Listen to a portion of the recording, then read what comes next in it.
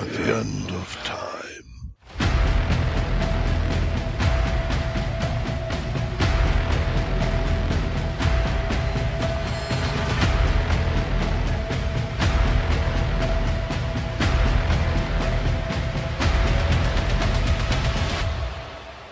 Thirteen. O'clock.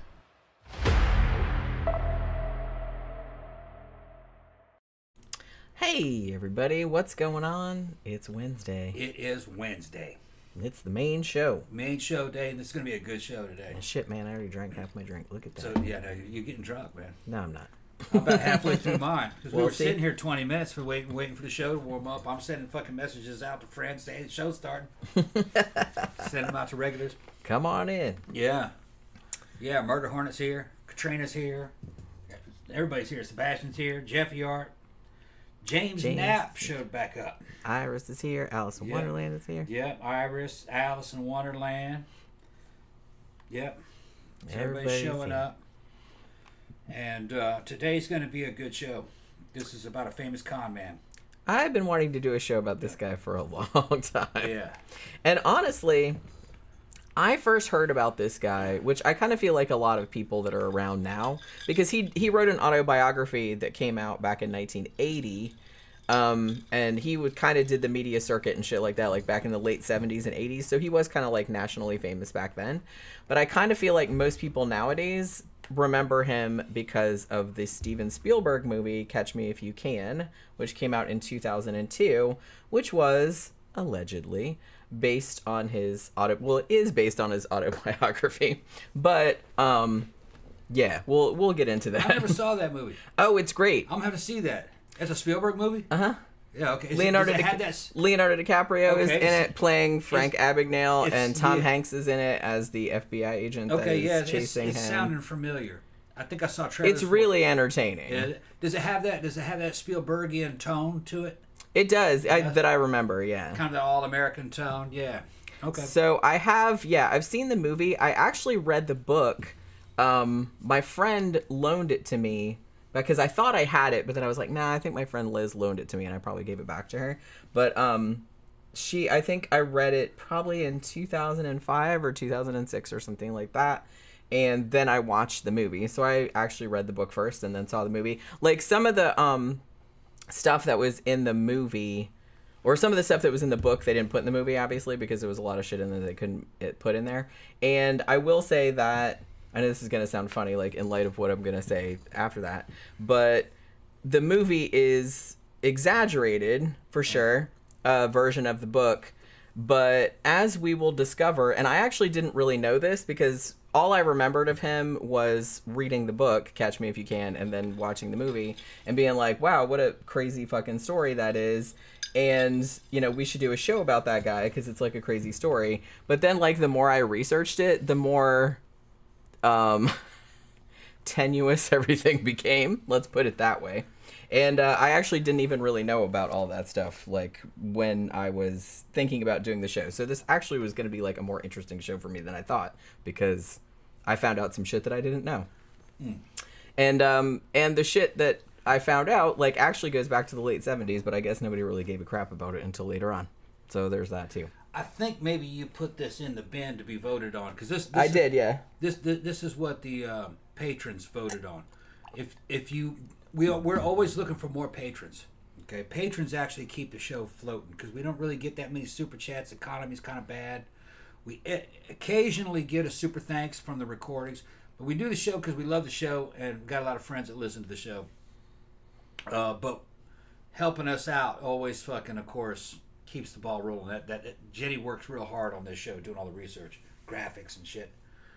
So um, I forgot where I was going with that. I'm fucking about. Uh, I'm just getting started in my mind. Anyway, the uh, uh, I think what happened was is that we were talking about a con man that had fascinated me. I wanted to know more about him. It was a guy who was pretending to be a doctor. yeah He learned how to be a doctor by reading fucking manuals. And the dude became a surgeon and a good surgeon. He practiced for years, had his own practice. It wasn't until many years later that he got busted that he didn't have a medical license. He wasn't a doctor. He, he was self taught. yeah which checks out on so many of the fucking things that I've learned as I got older about. Really, man, those universities don't mean shit. The guys who actually learn things are guys who fucking study it themselves, and you don't really have to be in that university. If you have access to those books and willpower and intelligence, you can learn all those skills for free. And that's what that dude did. I think he learned it in prison, if I remember correctly, or started to learn it in prison. Learned all about the human body and how fucking surgery, surgeries go down and how what doctors do. And he became a fucking a doctor by his own hand, illegally. Man, you got to have some serious fucking balls to cut in and perform some kind of heart surgery. And I think he was doing advanced surgeries for the first time, pretending that you kind of that you've done this before. And I think fucking talking about that, Jen decided that she was going to put this in the in the. fucking- Yeah, because this guy um okay. So this guy and what we'll do is we'll kind of get into the story as he tells it like in his book and you know a little bit in the movie but you know mostly in his book because like i said i did read that like um, a while back and then we'll get into what probably really happened Okay. so um so there's that. But the famous story about this guy he did impersonate uh, a doctor. He impersonated an airplane pilot. He impersonated a lawyer a sociology professor um a cop slash security guard like a bunch of stuff like that. Yeah. um at least that's you know what the narrative is which we'll get into the specifics like as it goes on. But like i said when i read his book you know and the thing about it is that and he seems he's still alive and he still does you know lectures and talks and stuff like that. He has a um company it's you know just frank abagnale and associates or something like that. And he goes around giving talks about fraud and how to prevent fraud. Because the whole thing about it is that his narrative is that he was this lovable rogue type character um you know in his teenage years. Cuz all of this shit happened when he was before he was 22 you know what i mean like when he was between the ages of 16 and 22 or so he claims so all of that happened then and then like he decided to go straight and he was actually going to help out the FBI Yeah. like in combating fraud and now he like gives talks and has his own company this and guy. This everything guy like that was that. stealing pr- st- stealing private planes and flying around? No. It Okay, that was a different one. No, that's there was not- another one. The kid that was, I think they called him the Barefoot Bandit. Yeah. He just left barefoot footprints wherever he went. and He'd steal people's private Cessnas and shit and just fly them from one airport to the next. He wouldn't take the plane. He'd leave the plane at the airport, of course, but he'd hijack your plane. and he was a kid. I think he was 16. Yeah. And, and he didn't know how to fly. He just learned it. Well, it's not so important to know how to fly as it is to know how, to land. Yeah, Yeah. that's kind of the big he thing. figured that out too. well, good thing because you can't you can't really mess that up too many times. No, he was a genius, but crazy. Well, and like I said, Yeah. it does. I'm always kind of fascinated by people like con men like this, and I think that was what interested me about Frank Abagnale in particular is that, and particularly if you're reading his book, you're just kind of like, wow, it's like you're almost kind of like you don't condone what he did because he fucked over a lot of people, but you're almost like, wow, just to have that like confidence, like to just go in there and do that kind of stuff. But like I said, the narrative that he presents of himself and how shit actually went down is not the same. Yeah. So, like I said, the the stuff that you see in his autobiography and that you see in the movie, it's a narrative, and he very much still um, benefits from that narrative. So he's not really as great a person. I like I said, I kind of feel like he's trying to portray himself as like this good guy, Robin Hood type character. Oh, I only stole from big corporations. I never stole from a little guy, and all this other kind of stuff. And then I turn my life around, and now I help, you know, the FBI to really like combat fraud and stuff. Which perhaps he does, but I think it, you know, he kind of came through it through false pretenses. The ironic thing about it is that, you know, he's, he's kind of like plays himself up as, you know, the world's most famous con man or something like that. And I said, and he kind of is, but not for the reasons that most people think that he is. You know what I'm saying? So yeah, which we'll get into. But like I said, this this turned out like a lot more interesting than I thought it was gonna be. Because I was like his his book was like interesting enough, but then like when I went back into all the shit, I was like, oh, there was all of this stuff I didn't know about it. you know, it's it's pretty fascinating. Okay, uh, for the regulars, you know that uh, I guess it was last week. Bought a car, bought a used car, got rid of Jenny's old one. Got a good deal on the fucking Mercury Grand Marquis, 1999, with only 100,000 miles on it. I got that bitch running good now. Um, put new part, new plugs in it. it it's 90 something percent finish, 90 maybe 97 percent interior. It looks great. Low miles. Old lady car. Anyway, took it to the shop today, put four new O2 sensors, and had Jenny drive it back. The car was fucking fast. That's why they call it the 4.6 liter V8. They call it the four door Mustang. Well, some guys call it that because it's basically a four door Mustang. I had the other Mustang. I had a real Mustang for a while, but it's basically that same car. It's only a couple hundred pounds heavier. And man, I was impressed driving that thing. It's quick, but I'm gonna make a video on it when it's done. I gotta do. I gotta put some uh, U joints and drive shaft, and I'm gonna gonna recover the the header, the ceiling header. I got all the fabric coming and everything. Gonna do that. It's gonna be sweet when it's done. Gonna put a new navigational system in the console. Get rid of that old tape deck. It's gonna be showboat. I may even put Mustang wheels on it, bullet wheels, maybe. We'll see. It's looking good. I was thinking about putting 4.6 badges on it, like a Mustang, like a luxury Mustang. It'd look cool. yeah, A- that AC is just blowing. The big old American car, big old fucking American, late 80s, early 90s fucking air conditioner system with fucking two pounds of coolant in it. It blows ice cubes now. Fucking good. Jenny, you enjoyed it, right? Yeah. You like you like dri- what did it feel like driving? Well, I don't know. It just kind of felt like a much fancier version of my Ford, Of the Ford Taurus, like Yeah. faster. faster, more like a, more like riding on a cloud kind of Yeah. feel. Real smooth. I liked it. Because I mean, you know, it's older than my Ford, but it's like in a lot better shape and has fewer miles on it. Yeah. That that that car stayed exactly like that up until 2011. Yeah. That's when they discontinued them. But there's stuff that you can do to that. There's all kinds of fucking upgrade up upgrades. I got some new fucking headlights for it that are LED that are 10 times brighter than the stock old fucking headlights. Because out here in the country, man, we can barely see driving in, in, in, in uh, around these fucking yeah, new there's cars. like no. Um, Can't see. Yeah. And there's really no streetlights Mm. out here.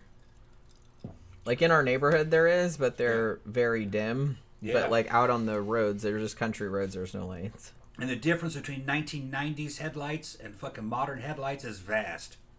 You're you're blind compared to everybody else. So that's coming.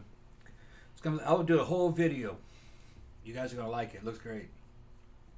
Murder Hornet said, "My dad has his private pilot's license and taught me to fly. I know Yeah. how to fly, but I don't have a license." Murder Murder Hornet when he ran down to uh, Mexico today, went across the border. And every time he goes to Mexico, he starts giving me updates of fucking everything he's doing and all his preparations. That motherfucker acts like he's going to the moon every time he goes to Mexico. Dude, it's just Mexico. And he's like, he's like, yeah, man, but I gotta avoid them cartels. and shit. Fuck, He's fucking funny, motherfucker, man. Case and Lee asked, "Sorry, unrelated question. What do you guys think of John Lear Jr.? John Lear Jr. John Lear Jr. Was that? That's the guy with the UFO guy, right?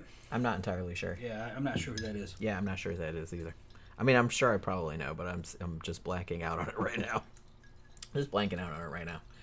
So, should I look at? Man, my drink's already getting kind of. You want to make? Can you We make another one? Yeah, make another one. All right. Might as well before we get like too far Okay. into it. But yeah, like I said, this was I don't know how many of you guys have seen uh the movie about this, which like I said is exaggerated. But um it's a great movie though. It's entertaining. But it does say that it's based on a true story and I don't think that's entirely the case. And I don't really know cuz every time I kind of see a discussion about this cuz I looked at a bunch of different documentaries and everything about this. It's interesting because you see a lot of kind of documentaries about it that are like biographical, and some of them are just talking about the stuff that was in Frank Abagnale's book, like his autobiography, but they're not really going into maybe what the truth of the matter is. There's a couple that do, but it seems like most of them are just kind of like going along with his regular biography. If you go on like Wikipedia, it tells you like the actual it tells you the actual story.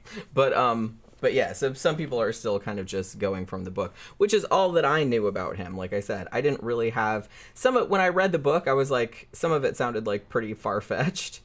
Um but I didn't really have any reason to I mean, you know, I didn't really care one way or the other. I just didn't really have any reason to like doubt it necessarily even though some of it was like, well, that sounds a little out there. Okay. Which drama? The the book, that's all. Which book? The book the book that About this, this guy? Okay, yeah, about this guy. Thought you talking about Lear. Right. Yeah. yeah, um yeah, Case and Lee says King of Conspiracy. Yeah. I mean I've heard that name, but yeah, it's the UFO guy, says Danny. Yeah. I don't yeah, I don't really know enough about him to like make a cuz I don't watch a lot of UFO stuff and I don't watch a lot of conspiracy stuff. I think he owns Skinwalker Ranch. Oh, right. We did a show And- about Skinwalker Ranch. I think he got contracted um, to look for UAP and everything to make the technology. Oh, all right. UFOs. I don't know much about it. Um, I know the other Lear. If it's the same guy I'm thinking of, just because the guy's rich and fucking intelligent doesn't mean he can't be a quack. Well, yeah. He- Anybody he can be a nut. Yeah, he seemed a little bit like a quack to me. But there was also I heard that there was some evidence that he, that they were able to dig up. So you know, who am I? I just don't know enough about it. I don't know. We did a show about Skinwalker Ranch and every single part of it sounded like bullshit to me. But, you know, Yeah, that's just me. yeah. Everything kind of sounds like fucking bullshit. The Navy and the government says that they're seeing UAP. They don't know what it is. So But that's a different that's a different Yeah, story yeah. than Skinwalker Ranch though. right. That's a whole different kettle of fish going on out there. And Yeah, Danny said compa- there's some compelling stories by pilots, very you know fighter pilots and shit. Very compelling. Tic Tac story. The videos that they show don't aren't you. Whenever a dude tells one of these stories, like a Tic Tac story, they'll show a video, but that's not a related video half the time. He says, "Yeah, that's not quite it though. That's a different video." Uh, so you know. The thing that they locked on that was that was that was parallax. There's a lot of the shit I looked into. That the best ones are like a long time ago, like Jafari, Colonel Jafari of the um, the old um, Iranian Air Force. That they they saw something and they scrambled him and some other guys and he saw a fucking craft. Big light came out of it. He took evasive action. His contr- his fire controls went dead. And then later it was confirmed by spy satellites that there was some kind of a high, uh, uh, uh, some kind of a hi- object moving at high Mach. And this is during a time when my grandfather was a contractor for, uh, it was Grumman Aerospace, I believe. No, it was McDonnell Douglas. McDonnell Douglas at the time, because he worked for a lot of them. And he was working in Isfahan, Iran. He helped build the Shah's Air Force F 14 Tomcats. My granddad engineered a lot of the F 14 Tomcat, mostly like the fuel injection system. so he was over there with a team of guys from McDonnell Douglas to train the Iranian Air Force how to maintain that shit. He was friends with the Shah. He knew him. But then that revolution happened and Ayatollah Khomeini took over. But um, half of my family, they're American, but they lived in Iran, Isfahan. All my aunts and stuff. My grandmother, my grandfather on my mother's side. And my granddad was half half Assyrian. He was an Assyrian Christian. His mother was. So I have Middle Eastern ties on my mother's side. But anyway, that UFO case was one of the best ones because it was confirmed by an American spy satellite. There was something moving at high Mach that they were chasing. And they didn't have the ability, nobody had the ability to move at the Mach rate. We're talking about like Mach 8 at that time. So it was fucking incredible. Okay, so let's get into the actual topic. So, what I'm going to do is I'll kind of go into the story as he tells it in his book. Uh, the book, like I said, came out in 1980. I believe he had been working on it for a few years, like starting in 1976 or something like that. When he had like a ghostwriter or a co-writer or whatever, and um, so it came out in 1980, and it was kind of like a big bestseller. It was like a big sensation and everything. Like he was known before that because he had been on TV and stuff, but we'll get into that. So this is his version of the story. And then we'll get into like after we get into that, we'll talk about probably what actually happened. So one thing that is true is that he was born in 1948 in Bronxville, New York. And he had three siblings. One was older, two were younger. Now, according to him, when he was 16, um, he gets he's at school and they kind of you know come to him and take him out of class, and they told him that your parents are getting divorced. Like you have to come to the court or what I don't know if it's the same day or whatever, but it's like you have to come to the court and decide which one you want to live with, which again sounds a little weird, but okay, I don't think they would really do that, but all right. Now, they did put this scene in the movie and it's like this big deal and everything. So, in his book, he says he's 16, he goes there, they're like, "Oh, well you have to decide if you want to live with your mom or your dad." Um, he can't decide, so he decides that he's just going to run away from home. So like there's a recess in the court or whatever, and he just takes off and leaves. And apparently he he never sees his dad again, and he doesn't see his mom again for like many years after that. So he just like takes off. So the story goes that he goes to New York City like on a train. And he gets there. I believe he gets a job, but it's kind of like a kind of a you know a, a bullshit shitty job because he's 16. You know what I mean? and quickly realizes that you can't really live on that, uh, especially in New York City, probably not anywhere. So he starts writing bad checks to supplement his income. And he starts getting away with it, so he figures, well, why even have a job when I can just do this all the time? You know what I mean? Um, and he was making like pretty okay money but evidently, he was getting kind of worried that the cops were maybe going to catch him or they were kind of, you know, getting wise to whatever he was doing.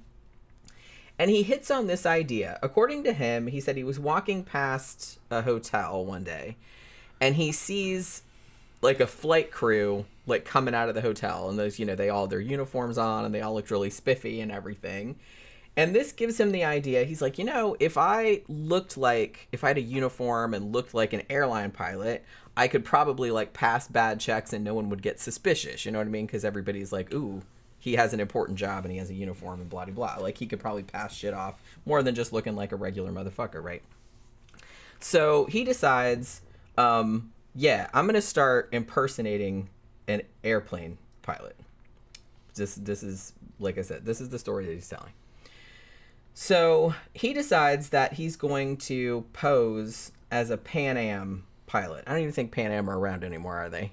No, go But they but they were real big back in Yeah, yeah. back in the day. This was in were the huge. this was in the 60s. yeah.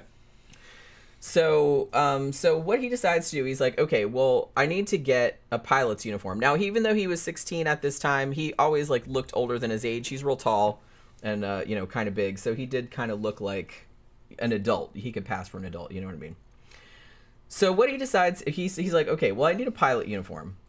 So he calls up. Like I said, this is kind of ha- if this really happened the way he described it, which I don't think it entirely did, but if it did, I mean, this would take some incredible balls and confidence. I would just never. I, I mean, I don't want to scam people anyway, but it's just kind of like I would never have the audacity to like do shit like this. You got to be a little bit of a sociopath. A Yeah, that's what. I mean. You- Psychopath. You, really. kind of do, and I'm Yeah. not, so I just can't imagine like doing any of this. You got to be real co- so confident that you're crazy. yeah, I could do this shit. Step aside. you got to be super arrogant, but you also have to be skilled. You have to be intelligent enough to be able to deliver on this. yeah.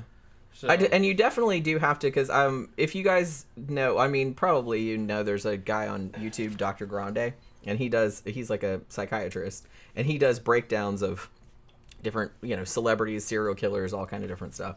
And it's he did one on this guy, and he was talking about how this is probably some kind of narcissistic personality disorder, which Yeah. I think um, real highly of yourself. yeah, and and also he seems kind of fantasy prone also. Yeah. he's just very much like um talking about how awesome he is, like Yeah.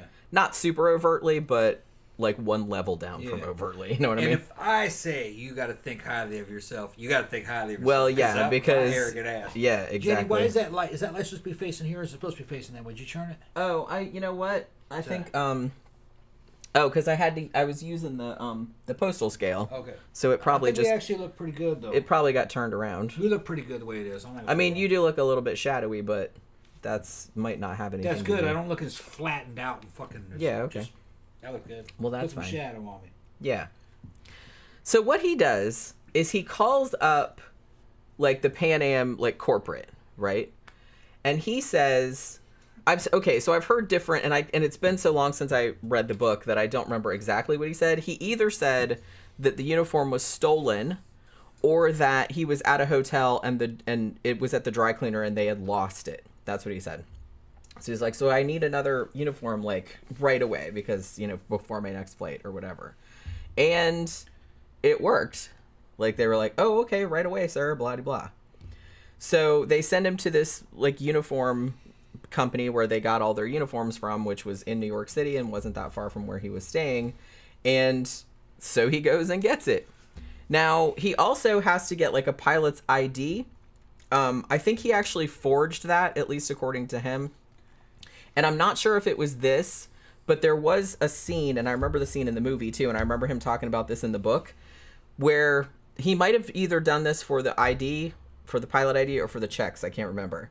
But he went to like a hobby shop and bought like a model Pan Am plane and like peeled the decals off, like the logos and stuff, and then like used those to like make a forgery or whatever. It was like I said, it was the 60s.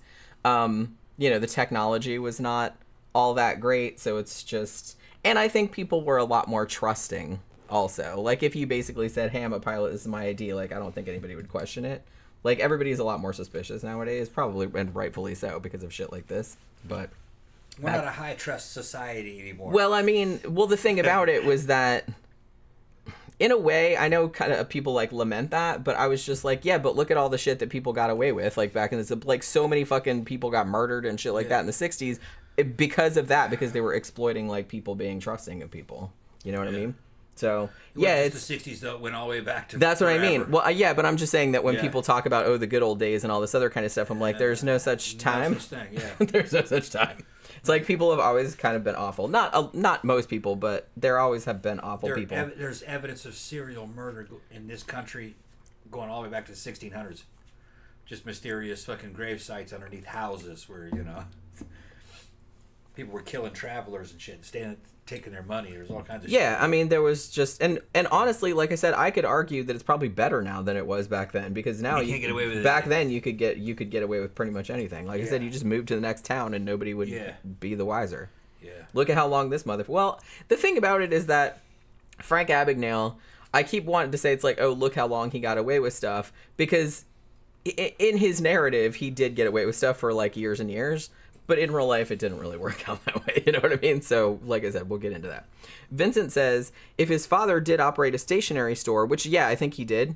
Um, he could have learned some aspects of forgery if he worked at the store. Yeah, I think he did, and like I said, from what I remember, because I'm I'm really interested in uh, like art forgery and stuff like that, like the techniques of it. And so I remember being really interested in that aspect of the book where he was talking about making the fake IDs and making the fake checks and like putting the little logos on them and like how he did it and stuff like that. Like I was really interested in that. So I think that that, but I specifically remember that he went to a hobby shop and bought like a model Pan Am plane kit. You know what I mean? Yeah. And it had like the little decals on it that had like the logos, and he used that like to make an ID or whatever. Wow. So, uh, so there was that. So now, so he has a uniform, he has an ID, and um, and like I said, he's 16 years old. Now, contrary to popular belief, he never flew a plane. What he would do was that he would go into, and he would never go onto a Pan Am plane because he was afraid he would get busted. Yeah. So he would go to another airline. He's like, I'd go in the airport, I'd look at wherever it was I wanted to go. Yeah. You know, this, you know, where transatlantic or whatever, trans, what the fuck? I almost said Trans Am. Yeah. Trans Am. yeah, I'm gonna I'm gonna fly a Trans Am Yeah, yeah. to Chicago. But yeah, good luck with that. But yeah, so he would go into another airline and he'd be like, "Hey, can I get a deadhead?" Is what they call it. Like you're a pilot, but they let you ride in the jump seat For free. like in the cockpit for free. So what he I really need to get there, like you know, do you have a thing available? I think you had to fill a form out and shit like that. But if it was available, he would take it. So he never flew a plane. he basically would just go in there and go wherever he wanted to go for free, like without having to pay. Like he'd have the uniform on and be like, That's "Hey, I need, yeah, I need to get here and there and the other thing." You know what I mean? So he did that. So Doing that at 16. right, or so he claimed. Yeah, I don't know. So, like I said, we'll we'll get into it. Um, but he said in his book that between the ages of 16 and 18, like those two years, that he estimates that he flew over a million miles, like or, like around the country and around the world for free, like, and that's how he would do it. He would just walk in and be like, "Hey, I'm a pilot, and I need to do this. You know, I need to do this flight," and they'd be like, "Okay, we got we got the jump seats available, so you can take it." So yeah, and that's what he would that's what he would do. Now, so here's the thing. Now, so he did that. And he supposedly did that, like I said, for two years. I think the only reason he was doing that um, was just to get from place to place. He was forging checks and shit like that all the time, too. Like, he did that pretty much the whole time. I don't know if he ever had what you would consider a real job. You know what I mean? It never seemed like. It always seemed like if he just needed money, he would just, like, scam somebody out of money or, like, steal somebody's checks and, like, Right, right. Some fucking bad right and just write some bad checks. That's kind of how he funded his lifestyle. Oh, okay. so yeah. Which i th- which that part of it is true but i just think he exaggerated it some in the book. So he's 18 years old in 1966 and he decides at this point for whatever reason i can't really remember what his justification for wanting to do this was he decides that he wants to he's tired of being a pilot i guess. And um he wants to be he wants to pretend to be a, a doctor. Actually a pediatrician like to be specific is i think the doc the type of doctor that he was. So at this point he was living in georgia. Might have been i don't think it was atlanta but it was somewhere in georgia.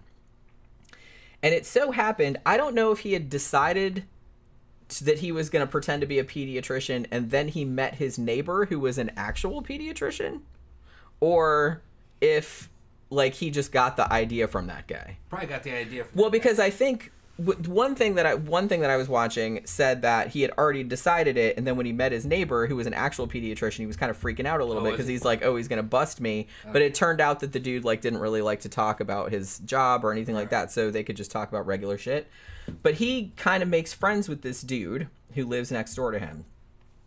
And the dude is like yeah i want you know um, we have this doctor like or a resident or whatever and he's gonna be out for a week and he works overnight and he just supervises like all the night shift people it's like do you want to fill in for him so apparently uh frank's like yeah okay i can do that How do so you get paid? well, see, that's another thing too. I always Yeah. just kind of wondered about that. But like I said, you know, I think that the reason that a lot of the details aren't in here is because a lot of the shit didn't happen the way he said that it happened. You know what I'm saying? They could have just written him a personal check, but it didn't Right. sound right. Yeah. Doesn't sound right. I mean, well, if you're I don't know, if you're just coming in temporary and you're just because I'm not really sure because I know that doctors and nurses like will fill in for other ones like all the time like if they're in that particular town or something. So I figure they got to pay them somehow, but I don't know how they do it. Maybe they just pay them like a contractor. You know, I would assume. They got Like- pay, they got to pay you in some kind of check. That's what I'm saying. Well, like you have nowadays, have a bank account. yeah, like right, And then on that fucking check, that you, or excuse me, on that bank account, they're probably going to expect to see your name with doctor in front of it. right, When that shit doesn't happen, they're like, "Wait, hold on. Why didn't why doesn't your bank account say doctor on it?" yeah. And it just sounds fishy. We'll see. Yeah. So apparently, so he said that he was going to do that. So he was like working. I think it was the it was like midnight to eight a.m. or something like that. And while he was there, like he also had access to the medical library, so he would go in there and like read books and like you know try to sound like he knew what he was talking about. Now at this point too, he also, again, he comes across as a little bit, well, not a little bit, a lot arrogant. Like I said, not so much like I'm the most awesome person ever, like Tom on Trend, like because that's what he was talking about. But just like, but like a notch down from that, you know what I mean? So he will say stuff like, you know, oh well, I read all the you know medical books in the library, and I have a photographic memory, so I didn't really understand all the stuff that I was reading, but I could rattle it off. Like if anybody asked him, like so he sounded like he knew what he was talking about, like he sounded like a doctor, you know what I mean? So so evidently he's supposed to be there for a week and again just like again and i think that there's a popular misconception just like when he was impersonating a pilot people are like what the fuck? Like he was actually flying planes. He didn't he never flew a plane. He was just like i said he was just using it to get around for free. He didn't fly the planes. And the same thing applied with the doctor thing. Like he was basically just there supervising the other doctors and nurses, like just kind of telling them what to do. And it's just like if somebody came to him, like if there was actually some kind of an emergency and they called him in there, like he would always just kind of try to get out of it somehow. Like he would try to deflect, like, oh, well, I think you're better suited to handle that or something like that. Like he would always come across like that. So, as far as I'm aware, and I don't think in his book, I don't remember him ever claiming that he had ever actually like fucking operated on anybody or anything like that. He always passed it off to others. So, at least he had that much self awareness that, you know, he knew that he didn't really know how to do it. And I'm sure he didn't want to get one, he didn't want to get caught. And two, you know, maybe he did have some semblance of, um, you know, feeling in there that it's just like holy shit like i could kill somebody because i don't really know what i'm doing. So as far as i know he never did actually like operate on anybody. He was just like in a supervisory kind of role. And like i said he would just kind of deflect everything. Like if somebody was like hey what do you think we should do? Well what do you think we should do about it? You know it was that kind of stuff. And apparently he was kind of charming and he would like tell jokes to diffuse situations and stuff and a lot of people were not suspicious. You know what i mean? Now some people were but you know some people weren't. So so he yeah so he's overseeing the the interns. Now uh, evidently even though this was just as far as i'm aware even though this was only supposed to last a week um you know the the other doctor who was the neighbor actually came forward and said hey that that doctor that you were filling in for he's actually not coming back like he's moving away um, so you can stay if you want. So he did actually end up staying there for a year. But like I said, I don't think he ever operated on anybody because at least he knew not to go that far. Because I think he was just afraid that he was going to get caught, right? And maybe he did have a conscience in there somewhere where he was just like, yeah, I don't want to cut up somebody and you know. So he would just like leave it leave it to the professionals, I guess. So he did that for a little while. So then he's 19. It's 1967 and he decided, you know, he's been an airplane pilot, he's been a doctor. Let's be a lawyer for a little while. How about that? That sounds Yeah, like why fun. not? Yeah. Sounds like Yeah. fun. Now, he was living in Louisiana at this point. Like I said, I don't really know why particularly he decided to be a lawyer, I guess because of the money. Get But laid. that well, yeah, and I think that was kind of a big factor. Yeah. Girls would go, oh man, he's a lawyer. Yeah. And I and funnily enough, I haven't seen the movie Catch Me If You Can for a while, but I do remember that they leaned real hard into you know him with all the like hot stewardesses and stuff like Yeah. that, which actually he did kind of talk about that in the book, but I said it's interesting because that's actually probably a lot closer to reality than cuz the dude this dude they didn't really go into this in the book or the movie, kind of a creeper to be honest with you.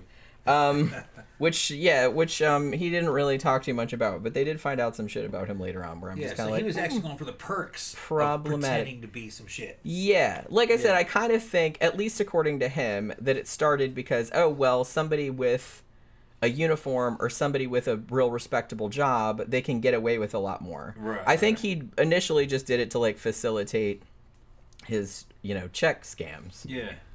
Because no one would question you, like if you were a doctor or whatever. I put a suit on, I can get away with all kinds of shit. Well, she, yeah, and and Yeah. that is true. Like if you yeah. look respect, you know, yeah, if you come in looking like a bum, nobody's Right, just yeah. everybody's gonna be like totally sus. But it's like you come in looking all spiffy and everything. Yeah. Yeah.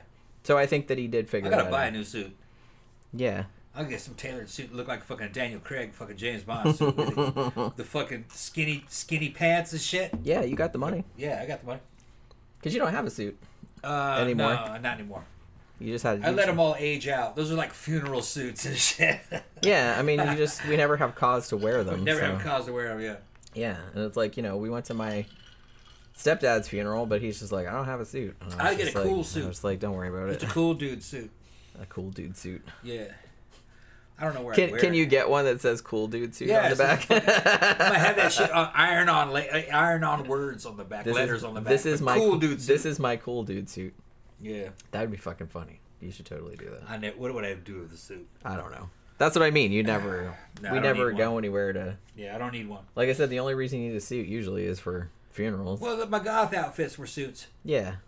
They were just a different kind of suit. Yeah. Yeah.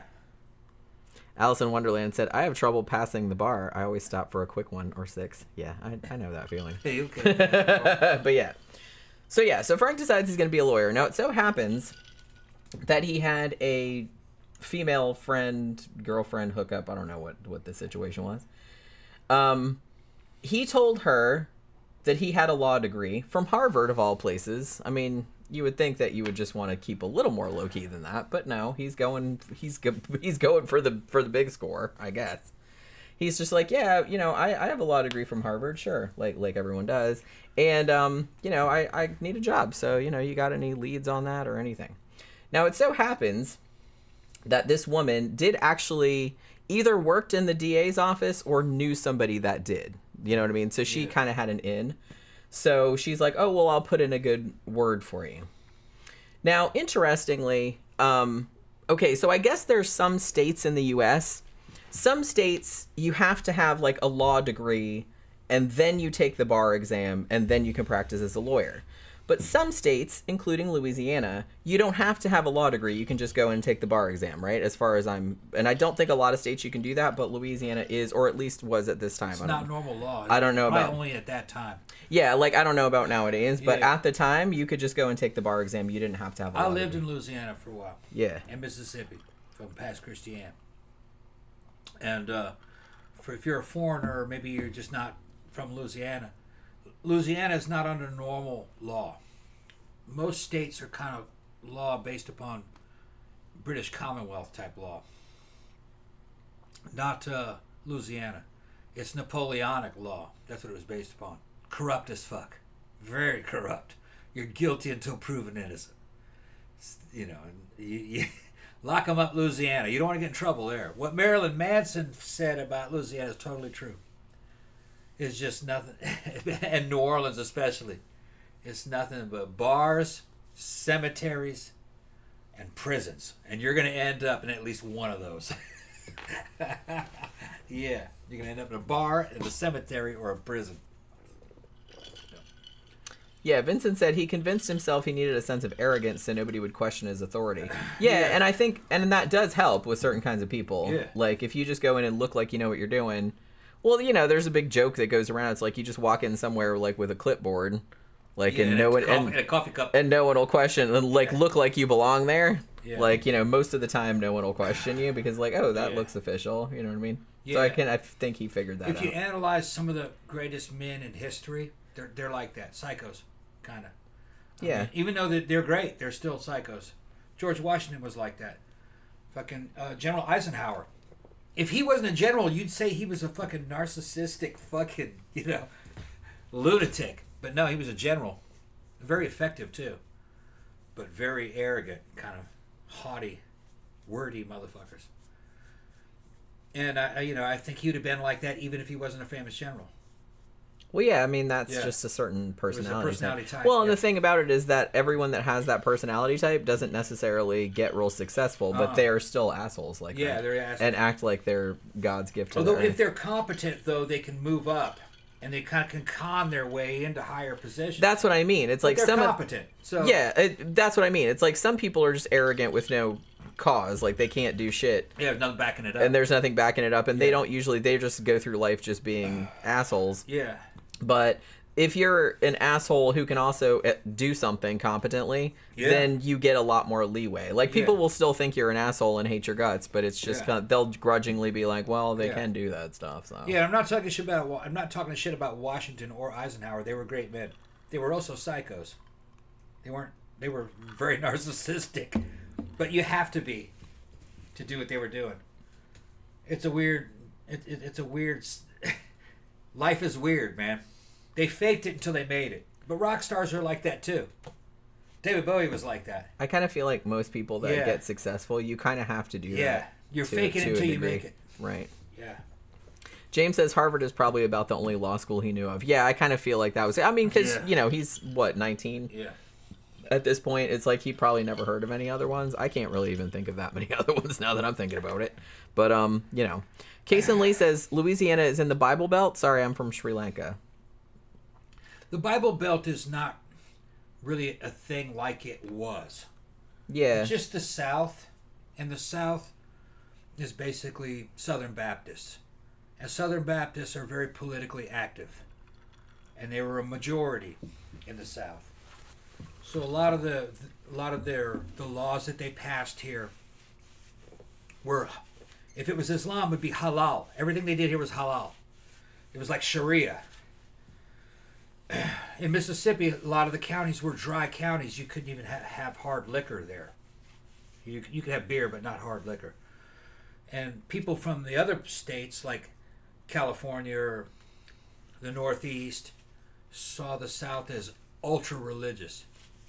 But, you know, I was partially growing up in the South. She's from the South. You don't notice it if you're from here. I did. It's not as bad as them, though. I saw that shit, but I didn't care. I'm from the. I was living in the fucking Mississippi Delta, the deep south. Just because something was illegal didn't mean you didn't do it. There weren't any cops. You did whatever you wanted. Kind of lawless, so it didn't matter. Nobody took those laws seriously anyway because it was just virtue signaling. People that voted for it were just trying to make their wives happy. That's all. They didn't actually do it.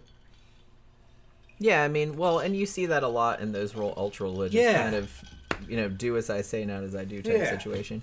They're all doing that shit Right, behind yeah. closed doors. They wouldn't care about it so Nah. much. No.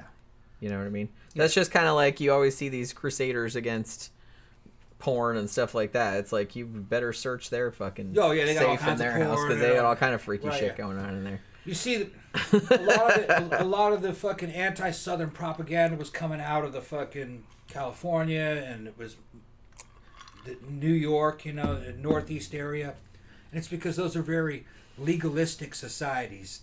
They care about law a lot, rights and shit like that. That didn't really exist in the South. It- this was a, a, an honor-based society, going all the way back to the 1800s. It didn't matter what the law said; you just did what you wanted. It was all for show.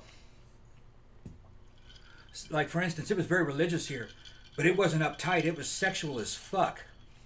When I was a little, when I was young, Mississippi was fuckfest 1984. You know, what are you talking about?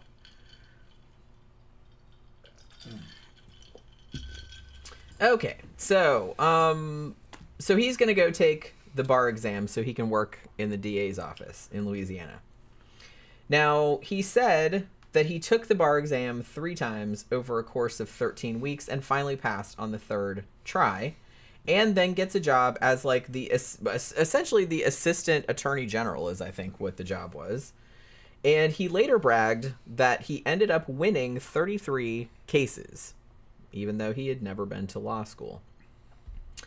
Now, he supposedly stays here also in this job for about a year. But again, um, there's another guy who works in the same office who actually does have a law degree from Harvard, and he's like a little bit scared that, you know, he's going to start talking to him a little bit. He's going to find out that he's a fake, you know what I mean? So he's just like, all right, so I better get the fuck out of here. So at this point, it's 1968. Frank is about 20 at this stage. Now at this point, he's he moves around a lot, obviously, um, because he's uh, getting in trouble here and there, and he doesn't want to get caught. So he just keeps moving from state to state. Because, like I said, back in the '60s and '70s, you kind of moved to another place, and they couldn't really catch you as easily. So in 1968, he's living in Provo, Utah, and for whatever reason, he decides that he's gonna go to Brigham Young University and get a job as a sociology professor. Again, not really sure what spurred this, but he just decided that that's what he's going to do. So he has, so he pretty much forges all of his credentials and he tells the dean, I believe, um, that it's like, oh, well, you know, I used to be a teacher and I really loved it, but then I went and became an air airline pilot. but I decided I wanted to come back to teaching and blah, blah, blah. So, according to Frank's story, uh, the dean was like super jazzed about this. Is like, oh my god, you totally have a have a job.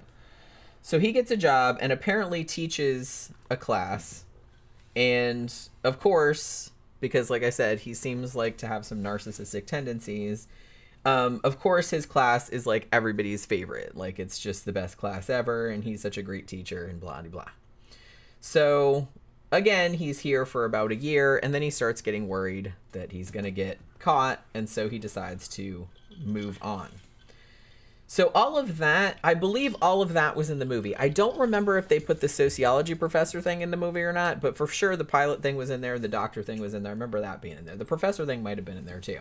But he did a couple of other scams that they talked about in the book that actually were not in the movie.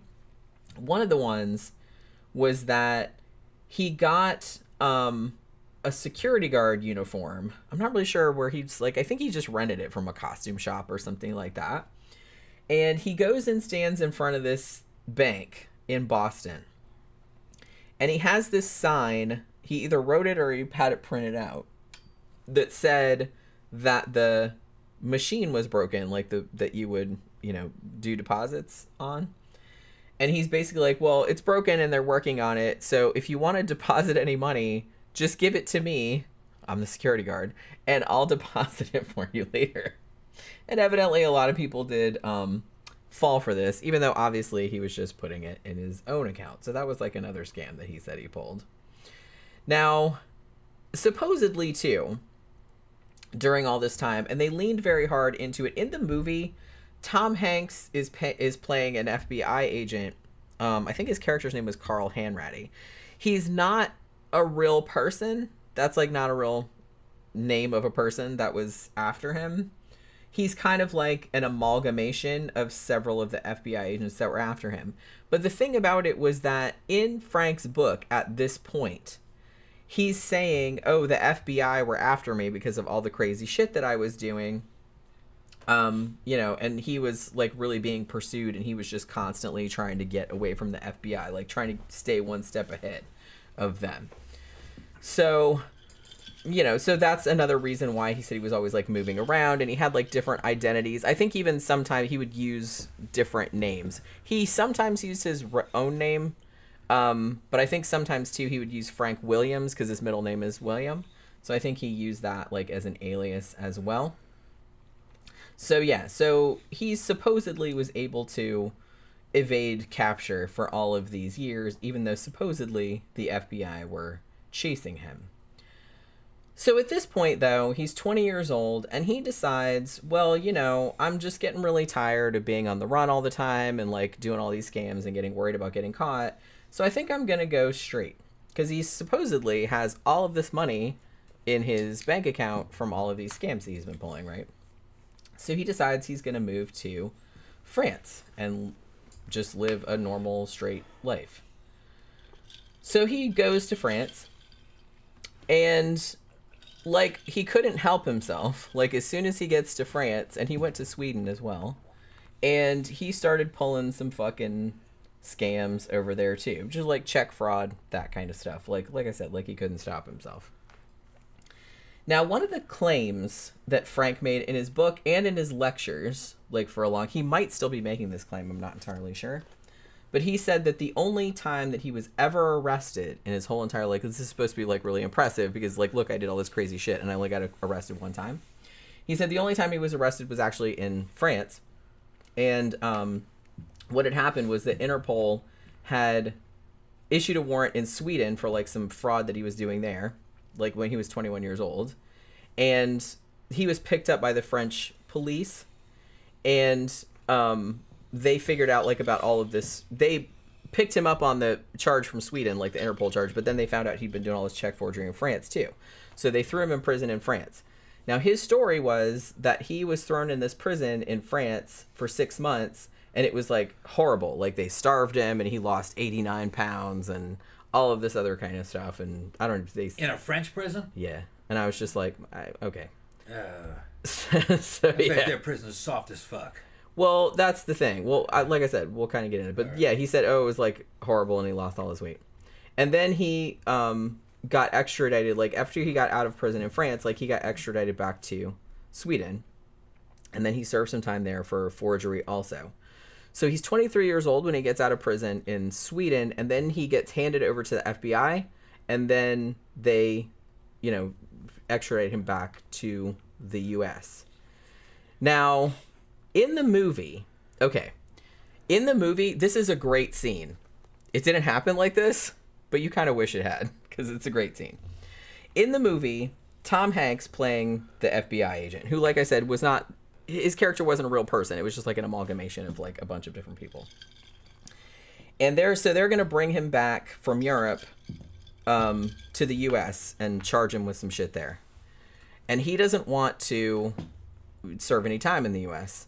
So they bring him on the plane to take him back to the United States. He goes into the bathroom and pulls out the toilet apparatus and goes out through like a hatch in the bottom of the plane, like while the plane is taxiing down the runway, and like jumps out the plane like at the bottom of the plane and like fucking runs like hell. And that's that's in the movie. Um, and like I said, it's Is a that great. possible? We'll see. Okay, That is, I'm, I'm, I'm not. that was okay, but that's just that was the movie. Okay, yeah. in the book, he said that he got put on the plane, and while their all their backs were turned, he just ran out the through the galley, like through the yeah, kitchen yeah, galley. That sounds a lot more. Because likely. later on, like after that movie came out, people were like, "That's you can't do that. You can't do like you shit like can't. that." That's impossible. Yeah. Like you can't get out of the if you can do toilet." that by hand, that means that that fucking plane is not airworthy. because his yeah his his whole thing right his whole thing was oh well I had been flying on these planes for free like all this time so I knew everything about No. planes because like I said he said, said he had a no, there's photographic memory called construction and fucking like structure. I'd be like yeah I'm like if you could just pull the toilet Yeah, structural integrity. You know can you I mean? imagine at thirty thousand feet you're in You the fucking pull a- can you could just pull a fucking and like it out. just comes out and like out. sucks your ass out of Yeah. the bottom of the plane that'd if be you can do horrible it with your hand on purpose, especially probably a little skinny motherfucker like himself, then that means you could be sitting there taking a dump and hit turbulence and get sucked out of the fucking plane. that's what I'm saying just the floor. Boy, that'd be scary as fuck. You're sitting there taking that would a be the, dump, oh my god or if you're a girl, you're peeing, and all of a sudden, well a girl could be taking a dump too She could be taking. girls don't take dumps Yeah, didn't know. and then the fucking, the fucking shit hits a fucking shit hits some fucking turbulence, and boom, and all of a sudden you just go boom, and you're and you get thrown out Ass of the first. aircraft, out ass first, panties around your knees, at thirty thousand feet. God, that'd be the worst. Cold as a motherfucker. You've the fallen, and it's it's high enough. dick flapping Yeah, dick flapping, pussy fucking blowing. It doesn't matter. Pussy and you're flapping. fucking looking down, and you, for all you know, you're over the ocean. All right, And then you get eaten by a as shit. shark. That's what would happen Cold to me. Cold as shit. You fall right into a shark's mouth. It's like waiting for you. yeah, well, that's like my worst You nightmare. better try to like peg out and get as skinny as you possibly can if you're over the water, and hope that you hit just right, because uh, hitting water at thirty thousand feet, you're going to be hitting that at 110 miles an hour at least. Uh, that's just the downward velocity. Forward velocity, falling out of a plane, that thing's going to be moving 400 miles an hour. You hit that water, it's going to be like hitting concrete. You know, it'll kill you deader than shit. And shit is pretty dead. Deader than shit. Yeah, and shit is very dead. Yeah. Yeah. very rarely does a person survive a fall out of an airplane. It does happen, but very rare. But but it's so rare that when it does rare. happen, it's like still because we talked about that yeah, woman that fell out of the airplane. usually the only way to survive coming out at thirty thousand feet is you have to fucking hit a mountain with a slope on it. Usually wet You have to hit some shit or- that'll break your fall. or snow, and you have to hit the slope just right. And it, if you if you can see the video, you got to come down like that, and it slows you down like a parachute. If you can slow down to seventy, you're fine. You just don't want to hit dead stop at 110. That'll kill you. Well, yeah. I've come off of motorcycles at 70, 75. But it's not a direct impact. Yeah. You got forward motion, so there's a lot of sliding and rolling. Rolling. Yeah. So Which is better an than just going splat. If you have an angle like on a mountain, you can get the slide and the roll action which will slow you down. But that was a woman that survived, and it was just very rare that that happens. She hit a bunch of trees too, like on the, and then it was Well, like no, a there's slope. more than one. yeah. One of them just hit a hit a hill, the right way, and I think it had snow, or it was wet. The other one hit trees, and she hit it just right. It slowed her down some. Yeah, it was both women I think that survived. it was yeah. I don't think it was men. No. I don't think any men have ever survived falling out of an airplane. It was stewardesses in both accounts. I think it was, yeah. Danny says, excellent detail on this character, Jenny, for tonight's awesome topic. Very informative. Thank you very much. Thank you very much. Yeah, I got like real into Super chats are open. Jenny's open for tips. And you can also give her a super thanks. Thank you very much. I'm pimping you. Okay, well, It you, you, know, you know how you do. I'm looking shadowy. You, that's why I said that Yeah, earlier. yeah. You like that though. Yeah. Shady. That's what you are. Allison said, "Tom and Jenny, you guys must belong to the Mile High Club. No. We have never been Never on an airplane together. No, only in a moving car. Yeah, But well, no, Jenny was going solo on a moving car. We recorded it. We never, made we never published the video. no. Well, I think I published some of it. Yeah, that was on the other. No, one. not that one. We did, no, we Oh, that's- published the video where I was driving Yeah. and you were in the passenger oh, seat. Oh, that's right. Yeah, I remember that one. Yeah. But yeah, we've never actually been on a plane trip together. No. Jenny doesn't like to fly. I don't either. I used to fly a lot because, No, like I said, I, I used, like to fly. Jenny doesn't like to fly. I used to go back and forth to the UK all the time, but Yeah. I hate flying airplanes. I love it. for that fucking reason. You might might get sucked out of the toilet and then get eaten by a shark. Because, like I said, that would be my fucking luck. But yeah, so it, it- okay, so it was a cool scene in the movie. It's a cool scene in the movie. Leonardo DiCaprio climbing out through the fucking toilet in the bathroom and then like dropping out the bottom of the plane and then running like hell across the fucking shit or whatever. Like I said, even okay, so that was even an exaggeration from the book, which spoiler alert is excel is itself a large exaggeration. In the book, he just said, "Yeah, I just ran out through the kitchen, like the little kitchen galley that they have in a plane." And he just ran the fuck out and just jumped out the plane and ran across the thing and jumped over the fence and got a cab and got the fuck out of there. But um but the toilet story is like way better. Now, another thing that he said too was that after this big daring escape that he made from the airplane where they were trying, you know, they brought him back to the US, um, he said, "Oh my god, it was like such a big deal. Like there were all these front page stories about it. Like the media was going crazy and blah blah blah." Now he gets picked up again by the FBI. Like after I think he was only on the lam for a little while, but he got caught again. And at this point, he claims he was sent to the Atlanta Federal Penitentiary. Penitentiary. Penitentiary. Why can't I say that word today? Penitentiary. And he was sentenced to 12 years. Now, okay, so his story about this. So he goes to the Atlanta Federal Pen. He gets a 12 year sentence for all of the shenanigans that he's been up to. And he says, so he gets led in there, and he was kind of being, he said that he was kind of being treated special, I guess, because he's like, ooh, that's this big deal fraud guy, and we just caught him, and he, you know, escaped from the plane, and it was this big deal and everything. So it gave him the idea, he's like, you know, some of the people, like when he got in the prison, like other people didn't really know who he was. So he's like, so I'm going to pretend that I'm a prison inspector, like a federal prison inspector. He decides he's going to do that.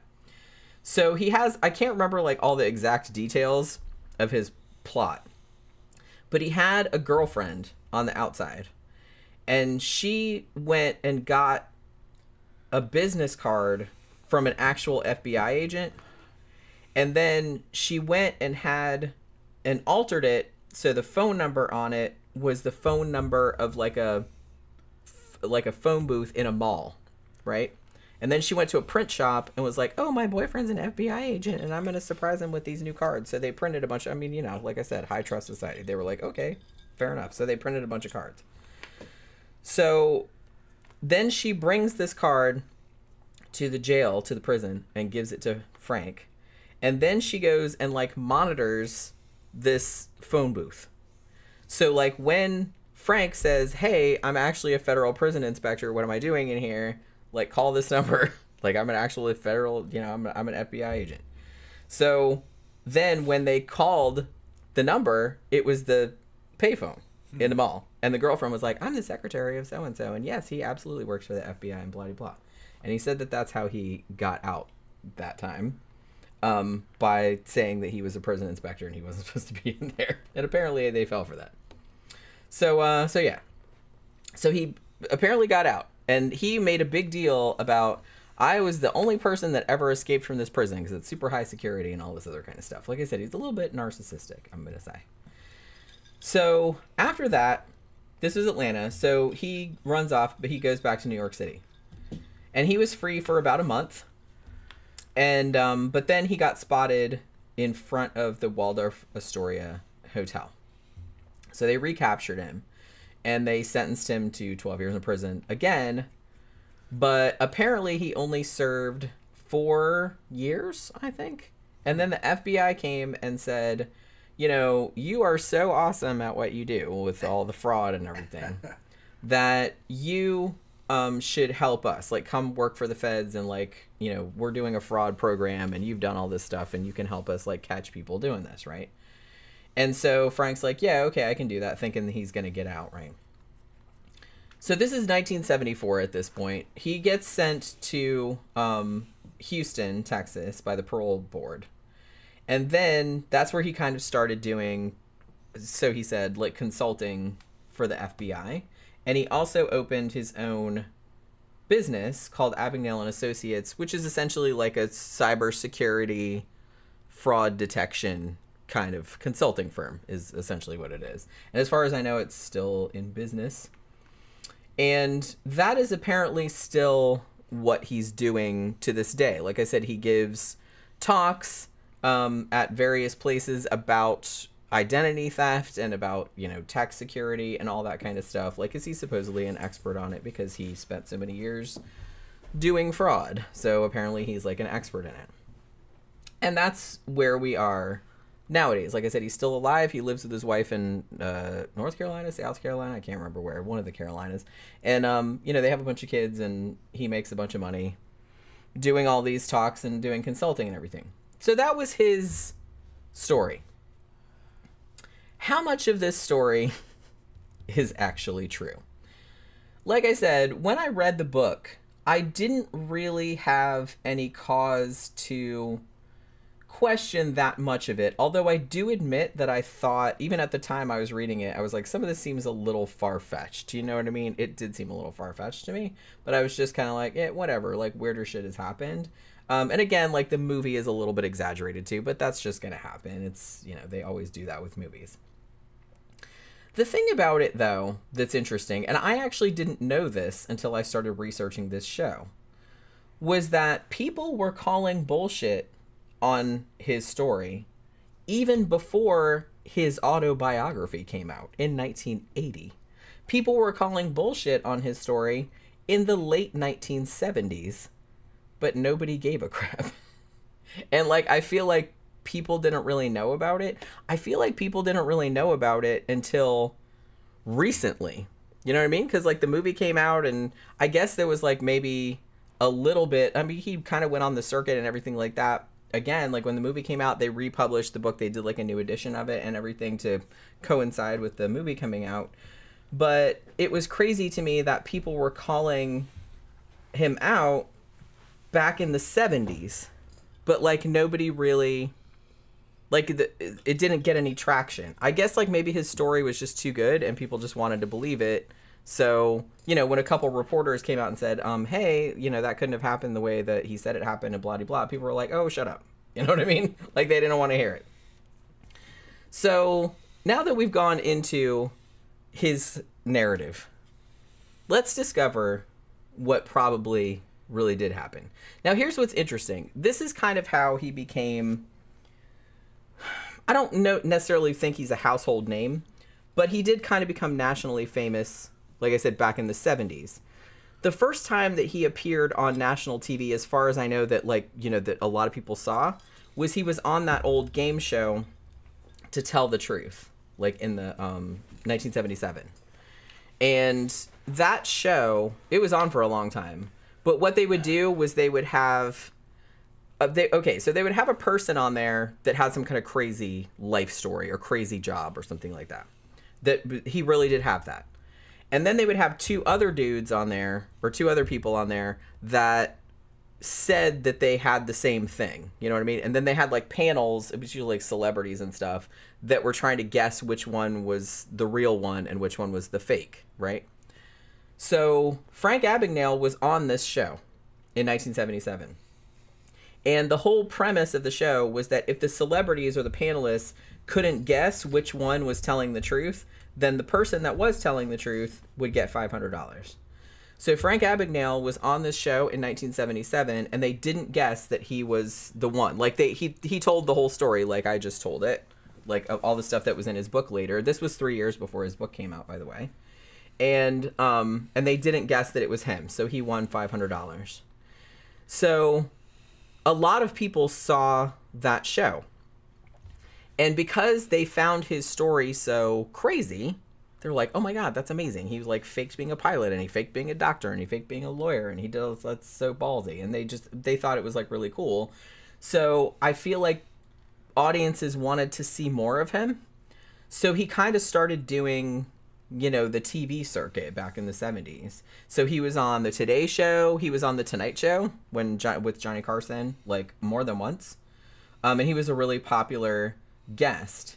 And so in those three years between 1977 when he was on to tell the truth and like 1980 when his autobiography came out like he was on tv all the time so i kind of feel like he was maybe not a household name but a lot of people had heard of him because his story was so fascinating and again i think he was trying to sell the narrative that yeah i did all this stuff back in the day and i scammed a lot of people like because he wrote bad checks and everything like that but I'm a good guy, really. I just did Robin Hood kind of shit. I only stole from like big corporations, um, you know, or rich people. I never screwed over like any little people or anything like that. And I went straight, and now I help protect people against people like I used to be. So, like I said, I think people kind of felt like, oh, he was like a lovable scamp type of character. And that seemed like the narrative that he was trying to push, right? Um, at, successfully, you know, because he did actually make a lot of money from his consulting thing. But the thing about it was that even back in there were a couple of reporters, there were two or three reporters in particular. And they saw him on either To Tell the Truth or The Tonight Show. And they got interested in his story and they were like, that kind of sounds like bullshit. So they decided that they were going to do a deep dive right? And they were gonna like write a story about this guy and like figure out how much of this his story was true because it sounds pretty outlandish, like when you hear it. So, two separate reporters wrote pieces about him, and they came out in 1978. Like basically saying like all of this shit that he said, it's like there's no way it could have happened like this but nobody cared. Like it was just kind of like it came out and like the stories essentially went nowhere. So, you know, his book came out, he did all the tour and like I kind of feel like people forgot that um that he had been called out. Like people didn't really want to know, I guess. So, let's start out with what really happened. And this is from the um you know, it, the two reporters that did the initial pieces and uh, subsequently like in recent years like there have been other reporters. Like one guy just wrote a book i think a couple just a couple years ago um, that's all about that that's all about this. And he kind of goes even deeper into the stuff. So it's like people are still working on this case. So what was it that really happened? Now he was actually born in in bronxville new york in 1948 that part is that's true but even from the beginning, he's telling some bullshit stories. because he said in his original shit that when he was 16, you know, they pulled him out of school and said, "Oh, your parents are getting divorced, and we're taking you to court to decide which one you want to live with." That did not happen. Um, his parents actually separated when he was 12, uh, and they got divorced when he was 15. He did not get asked which one he wanted to live with. He actually went and lived with his dad in Mount Vernon, New York, and his dad actually remarried not too long afterwards, so he lived with his dad and his stepmom. Um, you know, it wasn't a kind of thing where it's like, oh, I ran away and I never saw them again. That did not happen. So, yeah, so he lived with his dad and stepmom. Now, when he was 16, he actually lied about his age and went into the Navy.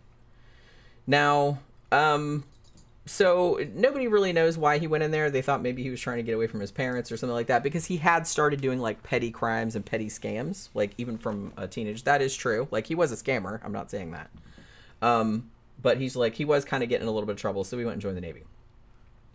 One of the first scams that he, one of the biggest scams that he did as a teenager, And again, this is kind of like he's trying to sell the narrative that it's like, oh, I only stole from faceless corporations.